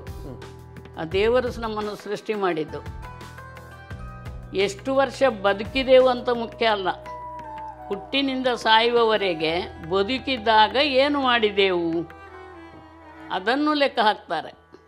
ಆದ್ದರಿಂದ ದೇವರ ಮೇಲೆ ಭಕ್ತಿ ಇಟ್ಟು ಪ್ರೀತಿಯಿಂದ ನಿತ್ಯವೂ ದೇವರ ಕೋಣೆಯಲ್ಲಿ ಪ್ರಾರ್ಥನೆ ಮಾಡುವಂಥದ್ದು ನನ್ನ ಇನ್ನೊಂದು ವಿಶೇಷತೆ ಏನು ಅಂದರೆ, ಇವತ್ತು ಯಾರಿಗಾದರೂ ಒಂದು ಮದುವೆ ನಡೀತದೆ, ಆಮಂತ್ರಣ ಬಂದಿದೆ, ಆ ಮದುಮಕ್ಕಳನ್ನು ದೇವರೇ ಒಳ್ಳೇದು ಮಾಡು, ಅವರ ಸಂಸಾರವನ್ನು ಒಳ್ಳೇದು ಮಾಡು ಅಂತ ಬೇಡೋದು. ಒಂದು ಗೃಹ ಪ್ರವೇಶ ಇದೆ, ಆಮಂತ್ರಣ ಬಂದು, ದೇವರೇ ಅವರ ಕಾರ್ಯಕ್ರಮ ಒಳ್ಳೆಯದಾಗಲಿ ಅವರಿಗೆ ಒಳ್ಳೇದು ಮಾಡು ಅಂತ ಬೇಡುವಂಥದ್ದು ಯಾರೋ ತೀರ್ಕೊಂಡ್ರು ದೇವರೇ ಇಂಥವರು ತೀರ್ಗಿ ಹೋಗಿದ್ದಾರೆ ಅವರ ಆತ್ಮಕ್ಕೆ ಶಾಂತಿ ಕೊಡು ಅಂತ ಹೇಳೋದು. ಕೊನೆಯದಾಗಿ ಸರ್ವೇ ಜನ ಸುಖಿನೋ ಭವಂತು. ಎಲ್ಲರಿಗೂ ಒಳ್ಳೆಯದು ಮಾಡು ದೇವರೇ ಅಂತ ಪ್ರಾರ್ಥನೆ ಮಾಡುವಂಥದ್ದು ನನ್ನ ದೈನಂದಿನ ಪಾಠ. ನಮಗಾಗಿ ದೇವರ ಹತ್ರ ಕೇಳಬಾರ್ದು ಇನ್ನೊಬ್ಬರಿಗಾಗಿ ಕೇಳಬೇಕು. ಖಂಡಿತ. ನೀವು ಹೇಳೋದು. ಹೌದು ಖಂಡಿತ. ನಮ್ಮನ್ನು ಹಾಗೆ ಮಾಡು ಹೀಗೆ ಮಾಡು ನಮಗೆ ಸಂಪತ್ತು ಕೊಡು ಐಶ್ವರ್ಯ ಕೊಡು ಆಯುಷ್ಯ ಕೊಡು ಅಂತ ಕೇಳೋದಲ್ಲ ಎಲ್ಲರನ್ನೂ ಒಳ್ಳೇದು ಮಾಡುವಂಥ ಅಷ್ಟೇ. ಅಲ್ವಾ? ಸರ್ವೇ ಜನ ಸುಖಿನೋಭವ ಸುಖಿನೋಭವ ಅಂತ ಎಲ್ಲರೂ ಚೆನ್ನಾಗಿದ್ರೆ ನಾವು ಚೆನ್ನಾಗಿರ್ತೀವಿ. ನಾವು ಖಂಡಿತ. ನಮ್ಮ ಯಜಮಾನರಿಗೆ ಕೂಡ ದೇವರ ಮೇಲೆ ತುಂಬ ಭಕ್ತಿ ಪ್ರೀತಿ ಇತ್ತು. ಇತ್ತೀಚೆಗೆ ಅವರು ತೀರಿ ಹೋಗುವ ಸ್ವಲ್ಪ ಮೊದಲು ಆ ದೇವರ ಕೋಣೆಯಲ್ಲಿ ಸ್ವಲ್ಪ ಇದೆಲ್ಲ ಮಾಡಿದ ಮೇಲೆಲ್ಲ ಇಟ್ಟು ಎಲ್ಲ ಸ್ವಲ್ಪ ಕೆಲಸ ಮಾಡಿದ್ದು. ಆಗುವಾಗಲೂ ಅವರೇನು ಅಡ್ಡಿ ಮಾಡಲಿಲ್ಲ ಮಾಡು ಮಾಡು ಮಾಡು ಅಂತ ಹೇಳಿದರು ಮಾಡಿಸಂತ ಮಾಡಿದ್ರು. ಯಜಮಾನರು ಕೂಡ ಇಲಾಖೆಯಲ್ಲಿ ಕೆಲಸ ಮಾಡಿದರು. ಅವರು ಫಿಶರೀಸ್ ಡಿಪಾರ್ಟ್ಮೆಂಟಲ್ಲಿ ಅಸಿಸ್ಟೆಂಟ್ ಡೈರೆಕ್ಟರ್ ಆಗಿ ರಿಟೈರ್ಡ್ ಆದದ್ದು. ಈಗ ಬಹುಶಃ ನೀವು ಪ್ರತಿ ಬಾರಿ ಕೂಡ ನಿಮ್ಮ ಗಂಡನ ಸಪೋರ್ಟ್ ಬಗ್ಗೆ ಹೇಳ್ತೀರಿ. ಅಂದ್ರೆ ನನಗೆ ಏನು ಮಾಡೋದಕ್ಕಿದ್ರು ಕೂಡ ಗಂಡ ಸಪೋರ್ಟ್ ಮಾಡ್ತಾ ಇದ್ರೆ ಅಂತೇಳಿ ಖಂಡಿತ. ಬಹುಶಃ ನಾವು ಮಹಿಳಾ ಸಬಲೀಕರಣದ ಬಗ್ಗೆ ಒಂದು ಕಡೆ ಮಾತಾಡ್ತೇವೆ. ಆದರೆ ಅದೇ ಮಹಿಳೆಗೆ ಮನೆಯಲ್ಲಿ ಒಂದು ಸಪೋರ್ಟ್ ಕೂಡ ಬೇಕಾಗುತ್ತೆ. ಅದರ ಜೊತೆಗೆ ದಾಂಪತ್ಯ ಜೀವನ ಕೂಡ ಚೆನ್ನಾಗಿರಬೇಕಾಗುತ್ತೆ. ಬಹುಶಃ ನಿಮ್ಮ ಅದು ಎರಡನ್ನೂ ಕೂಡ ಚೆನ್ನಾಗಿ ನಿಭಾಯಿಸಿದ್ದೀರಾ? ಹಾಗಾಗಿ ನಿಮ್ಮ ಜೀವನ ಹೇಗಿತ್ತು ಅಂತೇಳಿ ಅಂದ್ರೆ ನಮ್ಗೆ ಆ ಒಂದು ಕಥೆಯಿಂದ ಒಂದು ಸ್ಫೂರ್ತಿ ಸಿಗುತ್ತೆ. ಈಗ ನೀವು ಮತ್ತು ನಿಮ್ಮ ಗಂಡ, ನಿಮ್ಮ ದಾಂಪತ್ಯ ಜೀವನ ಅಥವಾ ಒಂದಷ್ಟು ವಿಚಾರಗಳು ಬಂದಾಗ ಅಲ್ಲಿ ಹೇಗೆ ಅದನ್ನು ನಿಭಾಯಿಸ್ತಾ ಇದ್ದೀರಂತೆ? ನೋಡಿ, ಗಂಡ ಹೆಂಡತಿ ಅನ್ನೋದು, ಅದು ದೇವರ, ದೇವರೇ ನಿರ್ಧಾರ ಮಾಡೋದು. ಇಂಥ ಅವನಿಗೆ ಇಂಥ, ಗಂಡನಿಗೆ ಇಂಥ ಹೆಂಡತಿ ಅಂತ. ಹೊರತು ಮನುಷ್ಯರು ನಿರ್ಧಾರ ಮಾಡೋದು ಖಂಡಿತ ಅಲ್ಲ ಎನ್ನೋದು ನನ್ನ ನಂಬಿಕೆ. ಗಂಡ ಹೆಂಡತಿಯ ಮಧ್ಯದಲ್ಲಿ ಕಲಹಗಳು, ಬೇಸರಗಳು, ಸಮಸ್ಯೆಗಳು ಬಂದೇ ಬರ್ತವೆ, ಬರುವುದಿಲ್ಲ ಅಂತಲ್ಲ ಎಲ್, ಎಲ್ಲ ಕಡೆಯಲ್ಲಿ ಬರ್ತದೆ. ಆದರೆ ಅದನ್ನು ದೊಡ್ಡದು ಮಾಡದೆ ನಿಭಾಯಿಸಿಕೊಂಡು ಒಬ್ಬರನ್ನೊಬ್ಬರು ಅರಿತುಕೊಂಡು ಬಾಳಿದರೆ ಖಂಡಿತ ಸುಖ ಉಂಟು. ಅದರಿಂದ ಏನು ತೊಂದರೆ ಇಲ್ಲ. ಬರ್ತದೆ, ಸಮಸ್ಯೆಗಳು ಬಂದೇ ಬರ್ತವೆ. ಎಲ್ಲರ ಮನೆಯ ದೋಸೆ, ತೂತು ಅಂತ ಒಂದು ಗಾದೆ ಉಂಟಲ್ಲ, ಹಾಗೆ ಸಮಸ್ಯೆಗಳು ಬರ್ತವೆ. ಆದರೆ ಅವುಗಳನ್ನು ದೊಡ್ಡದು ಮಾಡದೆ ಕೊಂಡು ಹೋಗುವಂಥದ್ದು ಅದು ಜಾಣತನ. ನನ್ನ ದೃಷ್ಟಿಯಲ್ಲಿ ಹೇಳೋದಾದರೆ ಅವರಿಗೇನು ತೊಂದರೆ ಕೊಡಲಿಲ್ಲ ಏನು ಕಷ್ಟ ಕೊಡಲಿಲ್ಲ ನನಗೆ ಸಮಸ್ಯೆಯೇ ಆಗಲಿಲ್ಲ ಚಿಕ್ಕ ಪುಟ್ಟದ್ದೇನಾದರೂ ಬಂದಿರ್ಬೋದು ಇಲ್ಲ ಅಂತ ಹೇಳೋದಿಲ್ಲ ಆದರೆ ಅದನ್ನು ನಿಭಾಯಿಸಿಕೊಂಡು ಹೋಗಿದೆ ಹೋಗಿದ್ದೇವೆ. ಒಂದು ಘಟನೆ ಯಾವುದು ನೆನಪು ಮಾಡೋದಾದರೆ ಈಗ ಒಂದು ವಿಚಾರ ಬರುತ್ತೆ. ಈಗ ನಿಮಗೆ ಮನೆಯಲ್ಲಿ ಏನು ಬಡತನದ ಮಕ್ಕಳನ್ನು ಸಾಕಬೇಕಂತ ಆಸೆ. ಈ ಥರ ಒಂದು ಗಂಡ ಮನ್ ಹೆಂಡತಿ ಮಧ್ಯೆ ಒಂದು ಅದರ ಬಗ್ಗೆ ಒಂದು ಚರ್ಚೆ ನಡೆಯುತ್ತೆ. ಆ ಥರದ್ದು ಯಾವುದಾದ್ರು ಒಂದು ಘಟನೆ ನೀವು ಮತ್ತು ಗಂಡ ಕುತ್ಕೊಂಡು ಡಿಸೈಡ್ ಮಾಡಿರೋದು. ಮತ್ತು ನೀವಿಬ್ಬರು ಕೂಡ ಕೆಲಸಕ್ಕೆ ಹೋಗ್ತಾ ಇದ್ವಿ ಹೌದು. ಈಗ ನಾವು ತುಂಬ ಕೇಳ್ತೇವೆ. ಈಗಿನ ಕಾಲದಲ್ಲಿ ಗಂಡ ಹೆಂಡತಿ ಇಬ್ಬರು ಕೆಲಸಕ್ಕೆ ಹೋಗ್ತಾರೆ. ಮಕ್ಕಳನ್ನು ಮನೆಯಲ್ಲಿ ನಿಭಾಯಿಸುವಂಥದ್ದು ಕಷ್ಟ ಅಂತೇಳಿ. ಇದನ್ನೆಲ್ಲ ಸವಾಲುಗಳನ್ನು ಆಗಿನ ಕಾಲದಲ್ಲಿ ನೀವು ಹೇಗೆ ಮ್ಯಾನೇಜ್ ಮಾಡ್ತಾ ಇದ್ದೀರಿ ನೋಡಿ ಯಾವತ್ತೂ ಕೂಡ ನಾನು ಗಂಡನಿಗಾಗಲಿ ಮಕ್ಕಳಿಗಾಗಲಿ ತೊಂದರೆ ಮಾಡಿಕೊಂಡು ನಾನು ಹೊರಗೆ ಹೋಗಲಿಲ್ಲ. ಯಾವತ್ತೂ ಕೂಡ ಅದು ಎಲ್ಲಿಯೂ ಹೇಳಬಲ್ಲೆ. ಮಕ್ಕಳಿಗೆ ಬೇಕಾದ್ದು ಮಾಡಿ ಇಟ್ಟು ಗಂಡನಿಗೆ ಬೇಕಾದ್ದನ್ನು ಮಾಡಿ ಇಟ್ಟು ರೆಡಿ ಎಲ್ಲರಿಗೆ ತಯಾರು ಮಾಡಿ ಮತ್ತೆ ನಾನು ಹೋಗೋದು. ನಿಮ್ಮ ಕೆಲಸಕ್ಕೆ. ಹಾಂ ಅದು ಯಾರಲ್ಲಿಯೂ ನೀವು ಕೇಳಬಹುದು. ನಾನು ಬಿಟ್ಟು ಅವರನ್ನು ಹೋಗ್ತಾ ಇರಲಿಲ್ಲ ಯಾವುದಕ್ಕೆ ಕೂಡ. ಮಕ್ಕಳು ಕೂಡ ಅದಕ್ಕೆ ನನಗೆ ಪ್ರೋತ್ಸಾಹ ಕೊಡ್ತಾರೆ. ಏನಂದರೆ ಅಡಿಗೆಯಲ್ಲಿ ಆಗಲಿ ತಿನ್ನೋದ್ರಲ್ಲಿ ಉಣ್ಣೋದ್ರಲ್ಲಿ ಸುಧಾರಿಸಿಕೊಂಡು ಅವರು ನನಗೆ ಸಹಾಯವನ್ನು ಮಾಡಿದ್ದಾರೆ. ಒಂದೇ ಒಂದು ಅಂದರೆ ಅವರಿಗೆ ನಾನು ಮಹಿಳಾ ಮಂಡಲಕ್ಕೆ ಹೋಗೋದು ಅಷ್ಟು ಇಷ್ಟ ಇಲ್ಲ ಅಂತ ಒಂದು ವಿಷಯ ಬಿಟ್ಟರೆ ಬೇರೆ ಏನಿಲ್ಲ ಸಹಕಾರವನ್ನು ಕೊಟ್ಟಿದ್ದಾರೆ. ಯಜಮಾನರಾಗಲಿ, ಮಕ್ಕಳಾಗಲಿ. ಇಲ್ಲದಿದ್ದರೆ ನಾನು ಖಂಡಿತ ಇದು ಇದೆ, ಇಷ್ಟೆಲ್ಲ ಪಡೀಲಿಕ್ಕೆ ಸಾಧ್ಯವೇ ಇಲ್ಲ. ನಾನು ಶಮಿಲಾ ಅಂತ, ರೋಹಿಣಿ ಟೀಚರ್ ಅವರ ತಂಗಿಯ ಮಗಳು. ನಾನು ಅವರನ್ನು ಉರ್ವದ ಆಂಟಿ ಅಂತಲೇ ಕರೆಯುವುದು. ಅವರು ಉರ್ವ ಸ್ಟೋರಿನಲ್ಲಿ ಭಾಳ ವರ್ಷದಿಂದ ವಾಸವಾಗಿದ್ದರು. ನಾವು ಸಣ್ಣವರಿದ್ದಾಗ ಅಕ್ಕಪಕ್ಕದ ಕ್ವಾರ್ಟರ್ಸ್ನ ಮಕ್ಕಳಿಗೆಲ್ಲ ಅವರು ಸಮ್ಮರ್ ವೆಕೇಷನ್ನಲ್ಲಿ ವಿವಿಧ ಸ್ಪರ್ಧೆಗಳನ್ನು ನಡೆಸುತ್ತಿದ್ದರು ಮತ್ತು ಪ್ರೈಸ್ ಡಿಸ್ಟ್ರಿಬ್ಯೂಷನ್ ಮಾಡ್ತಿದ್ದರು ಹಾಗೆ ನನ್ನ ಕಸಿನ್ಸ್ ಎಲ್ಲ ಬಾಂಬೆಯಿಂದ ಬಂದಾಗ ನಮ್ಮನ್ನು ಬೀಚಿಗೆ ಸುಲ್ತಾನ್ ಬತ್ತೇರಿಗೆ ಹೀಗೆ ವಿವಿಧೆಡೆಗೆ ತಿರುಗಾಡಿಸಿದ ನೆನಪು ನನಗೆ ಇದೆ. ಪೂರ್ವ ಸ್ಟೋರ್ನಲ್ಲಿ ಅವರು ಫೇಮಸ್ ಟೀಚರ್ ಸ್ಟ್ರಿಕ್ಟ್ ಹಾಗೂ ಶಿಸ್ತಿನ ಟೀಚರ್ ಎಂದೇ ಹೆಸರು. ಅವರು ಒಳ್ಳೆಯ ಬರಹಗಾರರು ಮತ್ತು ಭಾಷಣ ಮಾಡುವುದರಲ್ಲಿ ಅವರದ್ದು ಎತ್ತಿದ ಕೈ. ಅವರ ಕಂಚಿನ ಕಂಠ ತುಂಬ ಫೇಮಸ್ ಅದು ನಿಮಗೂ ಗೊತ್ತಿದೆ. ನನಗೆ ಸ್ಕೂಲಿನಲ್ಲಿ ಭಾಷಣ ಸ್ಪರ್ಧೆ ಇಲ್ಲದಿದ್ದರೆ ಎಸ್ಸೆ ರೈಟಿಂಗ್ ಇದ್ದಾಗ ನಾನು ಅವರಲ್ಲಿ ಕೇಳಿಕೊಂಡು, ತಯಾರಿ ಮಾಡಿಕೊಂಡು ಹೋಗುತ್ತಿದ್ದೆನು. ಅವರು ಸಮಾಜ ಸೇವೆಯಲ್ಲಿ ಅವರನ್ನು ಬಹಳ ತೊಡಗಿಸಿಕೊಂಡಿದ್ದಾರೆ. ಮಹಿಳಾ ಮಂಡಳ ಲೇಖಕರಿಯ ಸಂಘ, ಹಾಗೆ ವಿವಿಧ ಫಂಕ್ಷನ್ಗಳನ್ನು ಅಟೆಂಡ್ ಆಗ್ತಾನೆ ಇರ್ತಾರೆ. ಆ್ಯಕ್ಟಿವ್ ಆಗಿ ಎಲ್ಲದರಲ್ಲೂ ಪಾರ್ಟಿಸಿಪೇಟ್ ಮಾಡ್ತಾರೆ. ಅದು ಅವರಿಂದ ಆಗುವಷ್ಟು ಸಹಾಯವನ್ನು ಮಾಡುತ್ತಾರೆ. ವಿವಿಧ ಮಕ್ಕಳಿಗೆ ಎಜುಕೇಷನಿಗಾಗಿಯೂ ಸಹಾಯವನ್ನು ಮಾಡುತ್ತಾರೆ. ಅವರಿಗೆ ಸಿಕ್ಕಿದಷ್ಟು ಪ್ರಶಸ್ತಿ, ಸನ್ಮಾನ ನಮ್ಮ ಫ್ಯಾಮಿಲಿಯಲ್ಲಿ ಯಾರಿಗೂ ಸಿಕ್ಕಿಲ್ಲ. ಎಂಬತ್ತು ತುಂಬಿದರೂ ಅವರ ಕಾನ್ಫಿಡೆನ್ಸ್ ಅನ್ನು ನಾವು ಮೆಚ್ಚಲೇಬೇಕು. ಈಗಲೂ ವಿವಿಧ ಫಂಕ್ಷನ್ಗಳಿಗೆ ಹೋಗುತ್ತಾ ಇರುತ್ತಾರೆ ಅವರಿಗೆ ಸನ್ಮಾನಗಳು ನಡೆಯುತ್ತಾನೆ ಇರುತ್ತವೆ. ದೇವರು ಅವರನ್ನು ಯಾವಾಗಲೂ ಹ್ಯಾಪಿ ಹೆಲ್ದಿ ವೆಲ್ದಿಯಾಗಿ ಇಟ್ಟಿರಲಿ ಎಂದು ನಾನು ಪ್ರಾರ್ಥಿಸುವೆ ಆಗ ಹಿಂದಿ ಕಲಿಸುವಾಗ ಮಕ್ಕಳದ್ದು ಹೇಗಿತ್ತು ರೆಸ್ಪಾನ್ಸ್ ಮಕ್ಕಳು ಚೆನ್ನಾಗಿ ಕಲಿತಿದ್ರಪ್ಪ. ಮಲ್ಲಿ ಕಲಿತಿದ್ರು ಒಳ್ಳೇದು ಆಗ ಹಿಂದಿ ಆಪ್ಷನ್ ಅಲ್ಲ ಲ್ಯಾಂಗ್ವೇಜ್ ಅದು? ಹಿಂದಿ ಥರ್ಡ್ ಲ್ಯಾಂಗ್ವೇಜ್ ಮೂರನೇ ಪಾಠ ಆಗಿತ್ತು. ಆಗ ಹಿಂದಿಗೆ ಅಷ್ಟೇನು ಪ್ರೋತ್ಸಾಹ ಇರಲಿಲ್ಲ. ಸರ್ಕಾರ ಒಂದು ನಿಯಮ ಮಾಡಿತು ಎಲ್ಲ ಎಲಿಮೆಂಟ್ರಿ ಶಾಲೆಗಳಲ್ಲಿ ಒಬ್ಬ ಹಿಂದಿ ಟೀಚರ್ ಇರಬೇಕು ಅಂತೇಳಿ. ಹಾಗೆ ನನಗೆ ಉದ್ಯೋಗ ಕೂಡ ಸಿಕ್ಕಿತ್ತು ಹಾಗಾದರೆ ನಿಮಗೆ ಒಂದರಿಂದ ಏಳನೇ ಕ್ಲಾಸ್. ಏಳನೇ ಎಲ್ಲ ಕ್ಲಾಸಿಗೆ ಒಂದೊಂದು ಪಾಠ ಒಂದು ಒಂದರಲ್ಲಿಲ್ಲ. ಆಗ ಎಷ್ಟು? ಐದು ಆರು ಏಳು ಮೂರು ಕ್ಲಾಸಿಗೆ. ಹೌದು ಐದು ಆರು ಏಳು ಮೂರು ಕ್ಲಾಸಿಗೆ.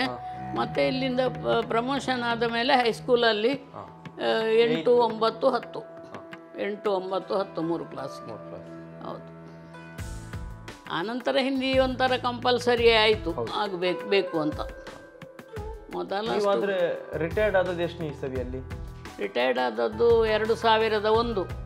ಎರಡು ಸಾವಿರದ ಒಂದು. ಹೌದು. ಈಗ ಇಪ್ಪತ್ತ್ಮೂರಲ್ಲ ಹೌದು. ಇಪ್ಪತ್ತೆರಡು ವರ್ಷ? ಇಪ್ಪತ್ತೆರಡು ವರ್ಷ ಆಯಿತು ರಿಟೈರ್ಡ್ ಆಗಿ. ಹೌದು. ರಿಟೈರ್ಡ್ ಆದಮೇಲೆ ಅಂದರೆ ಸ್ಟಾರ್ಟಿಂಗ್ ಅಲ್ಲಿ ಈ ನೀವು ನಿಮ್ಮ ನಿವೃತ್ತಿ ಜೀವನ ಹೇಗೆ ಕಳೀತಾ ಇದ್ರಿ? ರಿಟೈರ್ಡ್ ಆಗುವಾಗ ಒಂದು ದಿವಸ ಹೀಗೆ ಸ್ಟಾಫ್ ರೂಮ್ನಲ್ಲಿ ಮಾತಾಡಿದೆ. ಒಂದು ಗಾಡಿ ತೆಗಿಬೇಕು ನೀವು ರಿಟೈರ್ಡ್ ಆದಮೇಲೆ ನಿಮ್ಮ ಹಣ ಏನು ಮಾಡ್ತೀರಿ ಅಂತ ಕೇಳಿದರು. ಯಾರು ಟೀಚರ್ ಕೇಳಿ ಟೀಚರ್ಸ್ನವರು ಹೀಗೆ ಸ್ಟಾಫಲ್ಲಿ ಮಾತಾಡುವಾಗ ರಿಟೈರ್ಡ್ ಆದಮೇಲೆ ನಿಮ್ಮ ಸಿಗ್ತದಲ್ಲ ಸ್ವಲ್ಪ ಅಮೌಂಟು ಮೊತ್ತ. ಹೌದು. ಅದು ಏನು ಮಾಡ್ತೀರಾ ಅಂತ. ನಾನು ಹೇಳಿದೆ ಒಂದು ಗಾಡಿ ತೆಗಿಬೇಕು ಕಾರ್ ತೆಗಿಬೇಕಂತ ಆಸೆ. ಕಾರ್ ತೆಗೆದ್ರೆ ಬಿಡುವುದು ಯಾರು ಅಂತ ಕೇಳಿದರು. ಬಿಡುವುದು ಯಾರು ನಾನೇ ಅಂತ ಹೇಳಿದೆ. ನಿಮ್ಮ ಜನ್ಮಕ್ಕೆ ಆಗಲಿಕ್ಕಿಲ್ಲ ಹೇಳಿದರು. ಆ, ಹೌದಾ? ನೋಡುವ ಅಂತ ಆಯಿತು. ನೋಡುವ ಅಂತಾಗಿ ರಿಟೈರ್ಡ್ ಆದ ಮೇಲೆ ಸಿಕ್ಕಿದ ಮೊತ್ತದಲ್ಲಿ ಹೊಸ ಒಂದು ಒಮಿನಿ ಕಾರ್ ತಗೊಂಡೆವು ನನ್ನ ಗಂಡನ ಹತ್ರ ಹೇಳಿದೆ ಕಾರ್ ತೆಗಿಬೇಕು. ನಮಗೆ ಆಗ ಒಂದು ಅಂಗಡಿ ಕೂಡ ಮಾಡಿದ್ದೆವು ಇಲ್ಲಿ ಉರ್ವದಲ್ಲಿ. ಸಾಮಾನು ತರಲಿಕ್ಕೆ ಆಗುವ ಹಾಗೆ ಓಮಿನಿ. ಅದು ಹಿಂದುಗಡೆ ಹಾಕ್ಲಿಕ್ಕೆ ಆಗ್ತದಲ್ಲ ಸಾಮಾನು. ಓಮಿನಿ ತೆಗೆದೆವು. ಓಮಿನಿ ತೆಗೆದಾಗಿ ಮರುದಿವಸವೇ ಡ್ರೈವಿಂಗ್ ಸ್ಕೂಲಿಗೆ ಸೇರಿದೆ. ಆಗ ಐವತ್ತೆಂಟ ಐವತ್ತೆಂಟು ಐವತ್ತೆಂಟು ರಿಟೈರ್ಡ್ ಆಗುವಾಗ. ಐವತ್ತೆಂಟರಲ್ಲಿ ಡ್ರೈವಿಂಗ್ ಕಲ್ತದ್ದು ಹಾಂ ಸೇರಿದೆ ಮರುದಿನ. ಸೇರಿ ಅದರ ಕ್ಲಾಸಿಗೆ ಹೋದೆವು. ಇಲ್ಲಿ ಮೇಲೆ ಮಾರ್ಗದವರೆಗೆ ಬರ್ತಿತ್ತು. ಓಕೆ. ಸೇರಿ ಆಯಿತು. ಮತ್ತು ಒಂದು ದಿನ ಟೆಸ್ಟ್ ಕೊಟ್ಟಾಯಿತು ದೇವರ ದಯದಲ್ಲಿ ಪಾಸ್ ಆಯಿತು ಟೆಸ್ಟ್ ಹಾಗಿದ್ರೆ ಎಷ್ಟು? ಐವತ್ತೊಂಬತ್ತರಲ್ಲಿ ಲೈಸೆನ್ಸ್ ಆದದ್ದು? ಐವತ್ತ ಒಂಬತ್ತು ಹೌದು. ಆಗಿದ್ದು ಐವತ್ತೊಂಬತ್ತರಲ್ಲಿ. ಮತ್ತೆ ಓಮಿನಿ ಓಡಿಸ್ತಿದ್ರಿ ನೀವು? ಓಮಿನಿ ಓಡಿಸಿದೆ. ಇಲ್ಲಿ ಅಂಗಡಿ ಮಾಡಿದ್ದೆವು. ಅಂಗಡಿ ವರೆಗೆ ಸ್ವಲ್ಪ ಬೆಳಿಗ್ಗೆ ಹೋಗೋದು ಒಂಬತ್ತು ಗಂಟೆಗೆ ನಾನು ಯಜಮಾನರು ಅವರು ಸೈಡಲ್ಲಿ ಕೂತು ಅವರು ಕಲೀಲಿಲ್ಲ ಇತ್ತು. ಡ್ರೈವಿಂಗ್ ಬೇಡ ಹೇಳಿದರು ಮತ್ತು ಏಜ್ ಆಯ್ತಲ್ಲ ಬೇಡ. ಮಧ್ಯಾಹ್ನ ಮನೆಗೆ ಬರೋದು ಊಟ ಮಾಡೋದು ಸ್ವಲ್ಪ ರೆಸ್ಟ್ ಮಾಡೋದು ಪುನಃ ಅಂಗಡಿಗೆ ಅಂಗಡಿಗೆ ಹೋಗೋದು. ರಾತ್ರಿ ಒಂಬತ್ತು ಒಂಬತ್ತುವರೆ ಒಳಗೆ ಮನೆಗೆ ಬರ್ತಾ ಇದ್ದೆವು.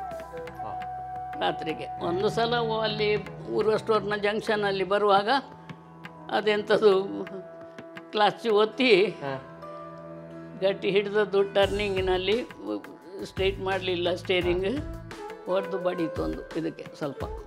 ಸ್ವಲ್ಪ ತಾಗಿತ್ತು ಅಷ್ಟೇ ಒಂದು ಚೂರು. ಏನು ಆಗಲಿಲ್ಲ ದೇವರ ದೇಹದಲ್ಲಿ. ಯಾರೋ ಓಡಿ ಬಂದರು ಬಂದು ಎಲ್ಲ ನಿಲ್ಲಿಸಿ ಗಾಡಿ ತಂದು ಇಲ್ಲಿಟ್ಟು ಹೋದರು. ಬಹುಶಃ ನಿಮ್ಮ ಇದರಲ್ಲಿ ನಮಗೆ ಆ ಜೀವನ ಉತ್ಸಾಹ. ಅಂದ್ರೆ ಅವರು ಹೇಳಿದ್ರಲ್ಲ ನಿಮ್ಮ ಜನ್ಮಕ್ಕೆ ಆಗುದಿಲ್ಲ ಹೇಳಿದ್ರಲ್ಲ ಅವರನ್ನು ಒಂದು ದಿವಸ ಕೂತ್ಕೊಂಡಿಸಿ ಅವರ ಮನೆಯವರೆಗೆ ಬಿಟ್ಟು ಬಂದೆ. ಓಮಿನಿಯಲ್ಲಿ. ಓಮಿನಿಯಲ್ಲಿ. ಡ್ರೈವಿಂಗ್ ಮಾಡಿ. ಆ ಹೇಳಿದವರನ್ನು ಉಂಟಲ್ಲ. ಅವ್ರು ಹೇಳಿದ್ರು ನನಗೆ ಹೆದರಿಕೆ ಆಗ್ತದೆ ನಿಮ್ಮ ಒಟ್ಟಿಗೆ ಕೂತ್ಕೊಳ್ಳಿಕ್ಕೆ ಅಂತ. ಆಗ ಕಲ್ತದಷ್ಟೇ ಅಲ್ಲ. ಇಲ್ಲ ಏನಾಗೋದಿಲ್ಲ ಬನ್ನಿ ಬಿಡ್ತೇನೆ ಹೇಳಿದೆ. ಹಾಗೆ ಬಂದರು ಅವರನ್ನು ಮನೆಗೆ ಬಿಟ್ಟು ಬಂದೆ. ಅದೊಂದು ಖುಷಿ ಆಯಿತು ಸೊ ಅವರೊಂದು ಚಾಲೆಂಜಿಂದ ಚಾಲೆಂಜ್ ಇಂದ ನೀವು ಐವತ್ತೊಂಬತ್ತು ಏಜ್ ಅಲ್ಲಿ ಗಾಡಿ ಕಲ್ ಪುಸ್ತಕದಲ್ಲಿ ಕಾಣಿಸ್ತೀವಿ ನಾವು. ಇದು ಓಮಿನಿ ತೆಗೆದಿದ್ದೀರಿ ರಿಟೈರ್ಮೆಂಟ್ ಹಣದಲ್ಲಿ. ಹೊಸತ್ತು ಗಾಡಿ. ಆಮೇಲೆ ಇತ್ತು ಅದು ಸುಮಾರು ವರ್ಷ ಇತ್ತು ನಮ್ಮ ಹತ್ರ. ಇವ್ರ ಮಗ ಬಂದ ಮೇಲೆ ಅವನು ಮತ್ತೆ ಏನೋ ಡಿಸ್ಪೋಸ್ ಮಾಡಿದ ಹಾಗೆ ಬೇರೆ ಎಷ್ಟು ವರ್ಷ ಆಗಿದ್ರೆ ಅಂಗಡಿ ನಡೆಸಿದ್ರಲ್ಲಿ ಅಂಗಡಿ ರಿಟೈರ್ಡ್ ಆಗೋದಕ್ಕೆ ಸ್ವಲ್ಪ ಮೊದಲು. ಒಂದು ಐದಾರು ವರ್ಷ ಇತ್ತ ಏನೋ. ಅಂಗಡಿ ಇತ್ತು. ಅಂಗಡಿ ಇತ್ತು. ಇದು ಜೀನ್ಸ್ ಎಲ್ಲ. ಅಂಥದ್ದು ಜನರಲ್ ಸ್ಟೋರ್ ಈಗಿಲ್ಲ ಅಂಗಡಿ. ಈಗ ಇಲ್ಲ. ಅದು ಇವ ಬರುವ ಮೊದಲೇ ಕೊಟ್ಟಾಯಿತು. ಒಂದು ಅನುಭವ ಅಷ್ಟೇ. ಸಣ್ಣ ಒಂದು ಅನುಭವ ಅದು. ಅಂಗಡಿ ಮುಖ್ಯ ಅಲ್ಲ ಯಜಮಾನರು ರಿಟೈರ್ಡ್ ಆದ್ರಲ್ಲ ಆವಾಗ ನಾವು ಸ್ವಲ್ಪ ಮಾಡುವ ಅಂತ ಅವರು ಆಲೋಚನೆ ಮಾಡಿ ಮಾಡುವ ಅಂತೇಳಿ ಮಾಡಿದ್ದು.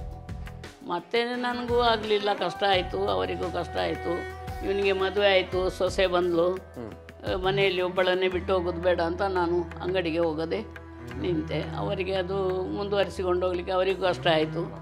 ಹಾಗೆ ಸ್ವಲ್ಪ ಕುಟುಂಬದ ಇದು ಜಾಸ್ತಿ ಅವರಿಗೆ, ಅದು ಶಂಭೂರಲ್ಲಿ. ಹಾಗೆ ಅಲ್ಲಿ ಹೋಗ್ತಾ ಬರ್ತಾ ಇದ್ದರು ಆದ ಕಾರಣ ಅದನ್ನು ಮುಂದುವರಿಸಿಕೊಂಡು ಹೋಗಲಿಕ್ಕೆ ಆಗಲಿಲ್ಲ, ಮತ್ತೆ ಬಿಟ್ಟೆವು.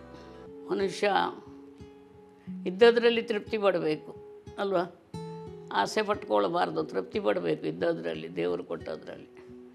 ಒಂದು ದಿನ ಸುಖವಾಗಿ ಹೋಗಬೇಕು ಅಷ್ಟೇ ಬೇರೆ ಏನಿಲ್ಲ ಕೊನೆಯದಾಗಿ ಒಂದು ಸಂದೇಶ. ಈಗಿನ ಮಕ್ಕಳಿಗೆ ಏನು ಹೇಳ್ತೀರಿ ಅಂತೇಳಿ. ಶಿಕ್ಷಕರಾಗಿ ನೀವು. ಈಗಿನ ಮಕ್ಕಳಿಗೆ ಯಾವ ರೀತಿಯಲ್ಲಿ ಹೇಳಬೇಕು? ಹೇಗೆ ಹೇಳಬೇಕು? ಏನನ್ನು ಹೇಳಬೇಕು? ಎಷ್ಟನ್ನು ಹೇಳಬೇಕು ಅಂತ ಹೊಳೆಯುವುದಿಲ್ಲ. ಯಾಕಂದರೆ ಮೊದಲಿನ ಮಕ್ಕಳಿಗೂ ಈಗಿನ ಮಕ್ಕಳಿಗೂ ಅಜಗಜಾಂತರ ಇದೆ. ಓಕೆ.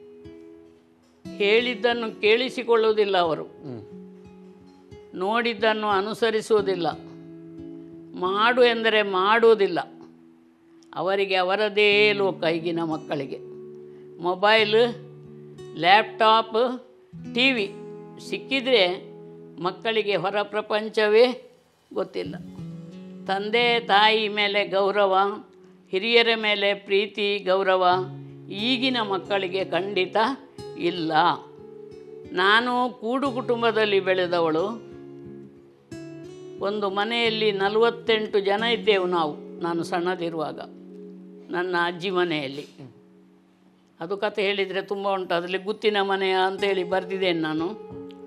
ಈಗಿನ ಮಕ್ಕಳಿಗೆ ತಂದೆ, ತಾಯಿ ಒಂದು ಅಥವಾ ಎರಡು ಮಕ್ಕಳು, ಅಷ್ಟೇ ಕುಟುಂಬ. ಬೇರೆ ಯಾವ ಸಂಬಂಧಿಕರು, ಯಾವ ಕುಟುಂಬಿಕರು, ಯಾರೂ ಬೇಡ. ತಾವಾಯಿತು ತಮ್ಮ ಮನೆ ಆಯಿತು ನನಗೆ ಹಾಗೆ ಅನ್ನಿಸ್ತದೆ. ಈ ಮಾನವೀಯ ಸಂಬಂಧ ಉಂಟಲ್ಲ, ಅದು ದೂರ ಆಗ್ತಾ ಬರ್ತಾ ಇದೆ. ಹೀಗಿರುವಾಗ ಮಕ್ಕಳಿಗೆ ಏನನ್ನು ಹೇಳಬೇಕು? ಯಾವ ಸಂದೇಶ ಹೇಳೋದು? ಸ್ವಲ್ಪ ಮಕ್ಕಳೇ, ಹಿಂದೆ ತಿರುಗಿ ನೋಡಿ, ನಿಮ್ಮ ಹಿರಿಯರನ್ನು ನೋಡಿ, ಹಿರಿಯರ ಕಾಲದ ಬಗ್ಗೆ ತಿಳಿಯಿರಿ. ಅವರು ಎಷ್ಟು ಕಷ್ಟಪಟ್ಟು ನಿಮ್ಮನ್ನು ಬೆಳೆಸಿದ್ದಾರೆ ಎಂಬುದನ್ನು ಅರ್ಥ ಮಾಡಿಕೊಳ್ಳಿ. ಅಷ್ಟೇ ಹೇಳಬಲ್ಲೆ.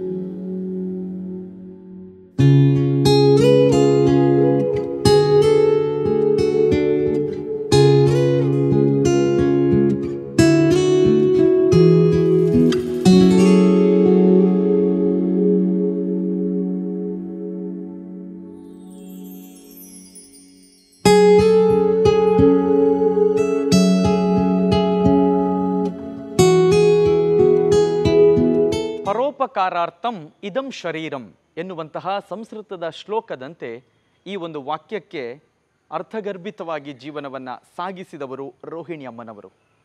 ಗಂಡ ಹೆಂಡತಿ ಇಬ್ಬರೂ ಕೂಡ ತಮ್ಮ ಜೀವಿತ ಅವಧಿಯಲ್ಲಿ ಕೂಡಿಟ್ಟದ್ದು ಕಡಿಮೆ. ಪರರಿಗೆ ಹಂಚಿದ್ದೇ ಜಾಸ್ತಿ. ಮನೆಯಲ್ಲಿ ಮಕ್ಕಳನ್ನು ಸಾಕಿದ್ದಾರೆ.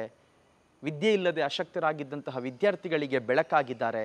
ಈ ಮೂಲಕ ತಮ್ಮ ಜೀವನದಲ್ಲಿ ಇತರರಿಗೆ ಮಾದರಿಯಾದಂತಹ ಬದುಕನ್ನು ಬಾಳಿದ ರೋಹಿಣಿ ಅಮ್ಮನವರ ಜೀವನ ನಮಗೆಲ್ಲರಿಗೂ ಕೂಡ ಸ್ಫೂರ್ತಿಯನ್ನು ಕೊಡುವಂಥದ್ದು. ಮುಂದಿನ ವಾರ ಮತ್ತೊಂದು ಶಿಕ್ಷಕರ ಜೊತೆ ನಮ್ಮ ನಿಮ್ಮ ಭೇಟಿ. ನಿರಂತರ ಸುದ್ದಿ ಮತ್ತು ಮನೋರಂಜನೆಗಾಗಿ ನೋಡ್ತಾ ಇರಿ. Daijiworld twenty four seven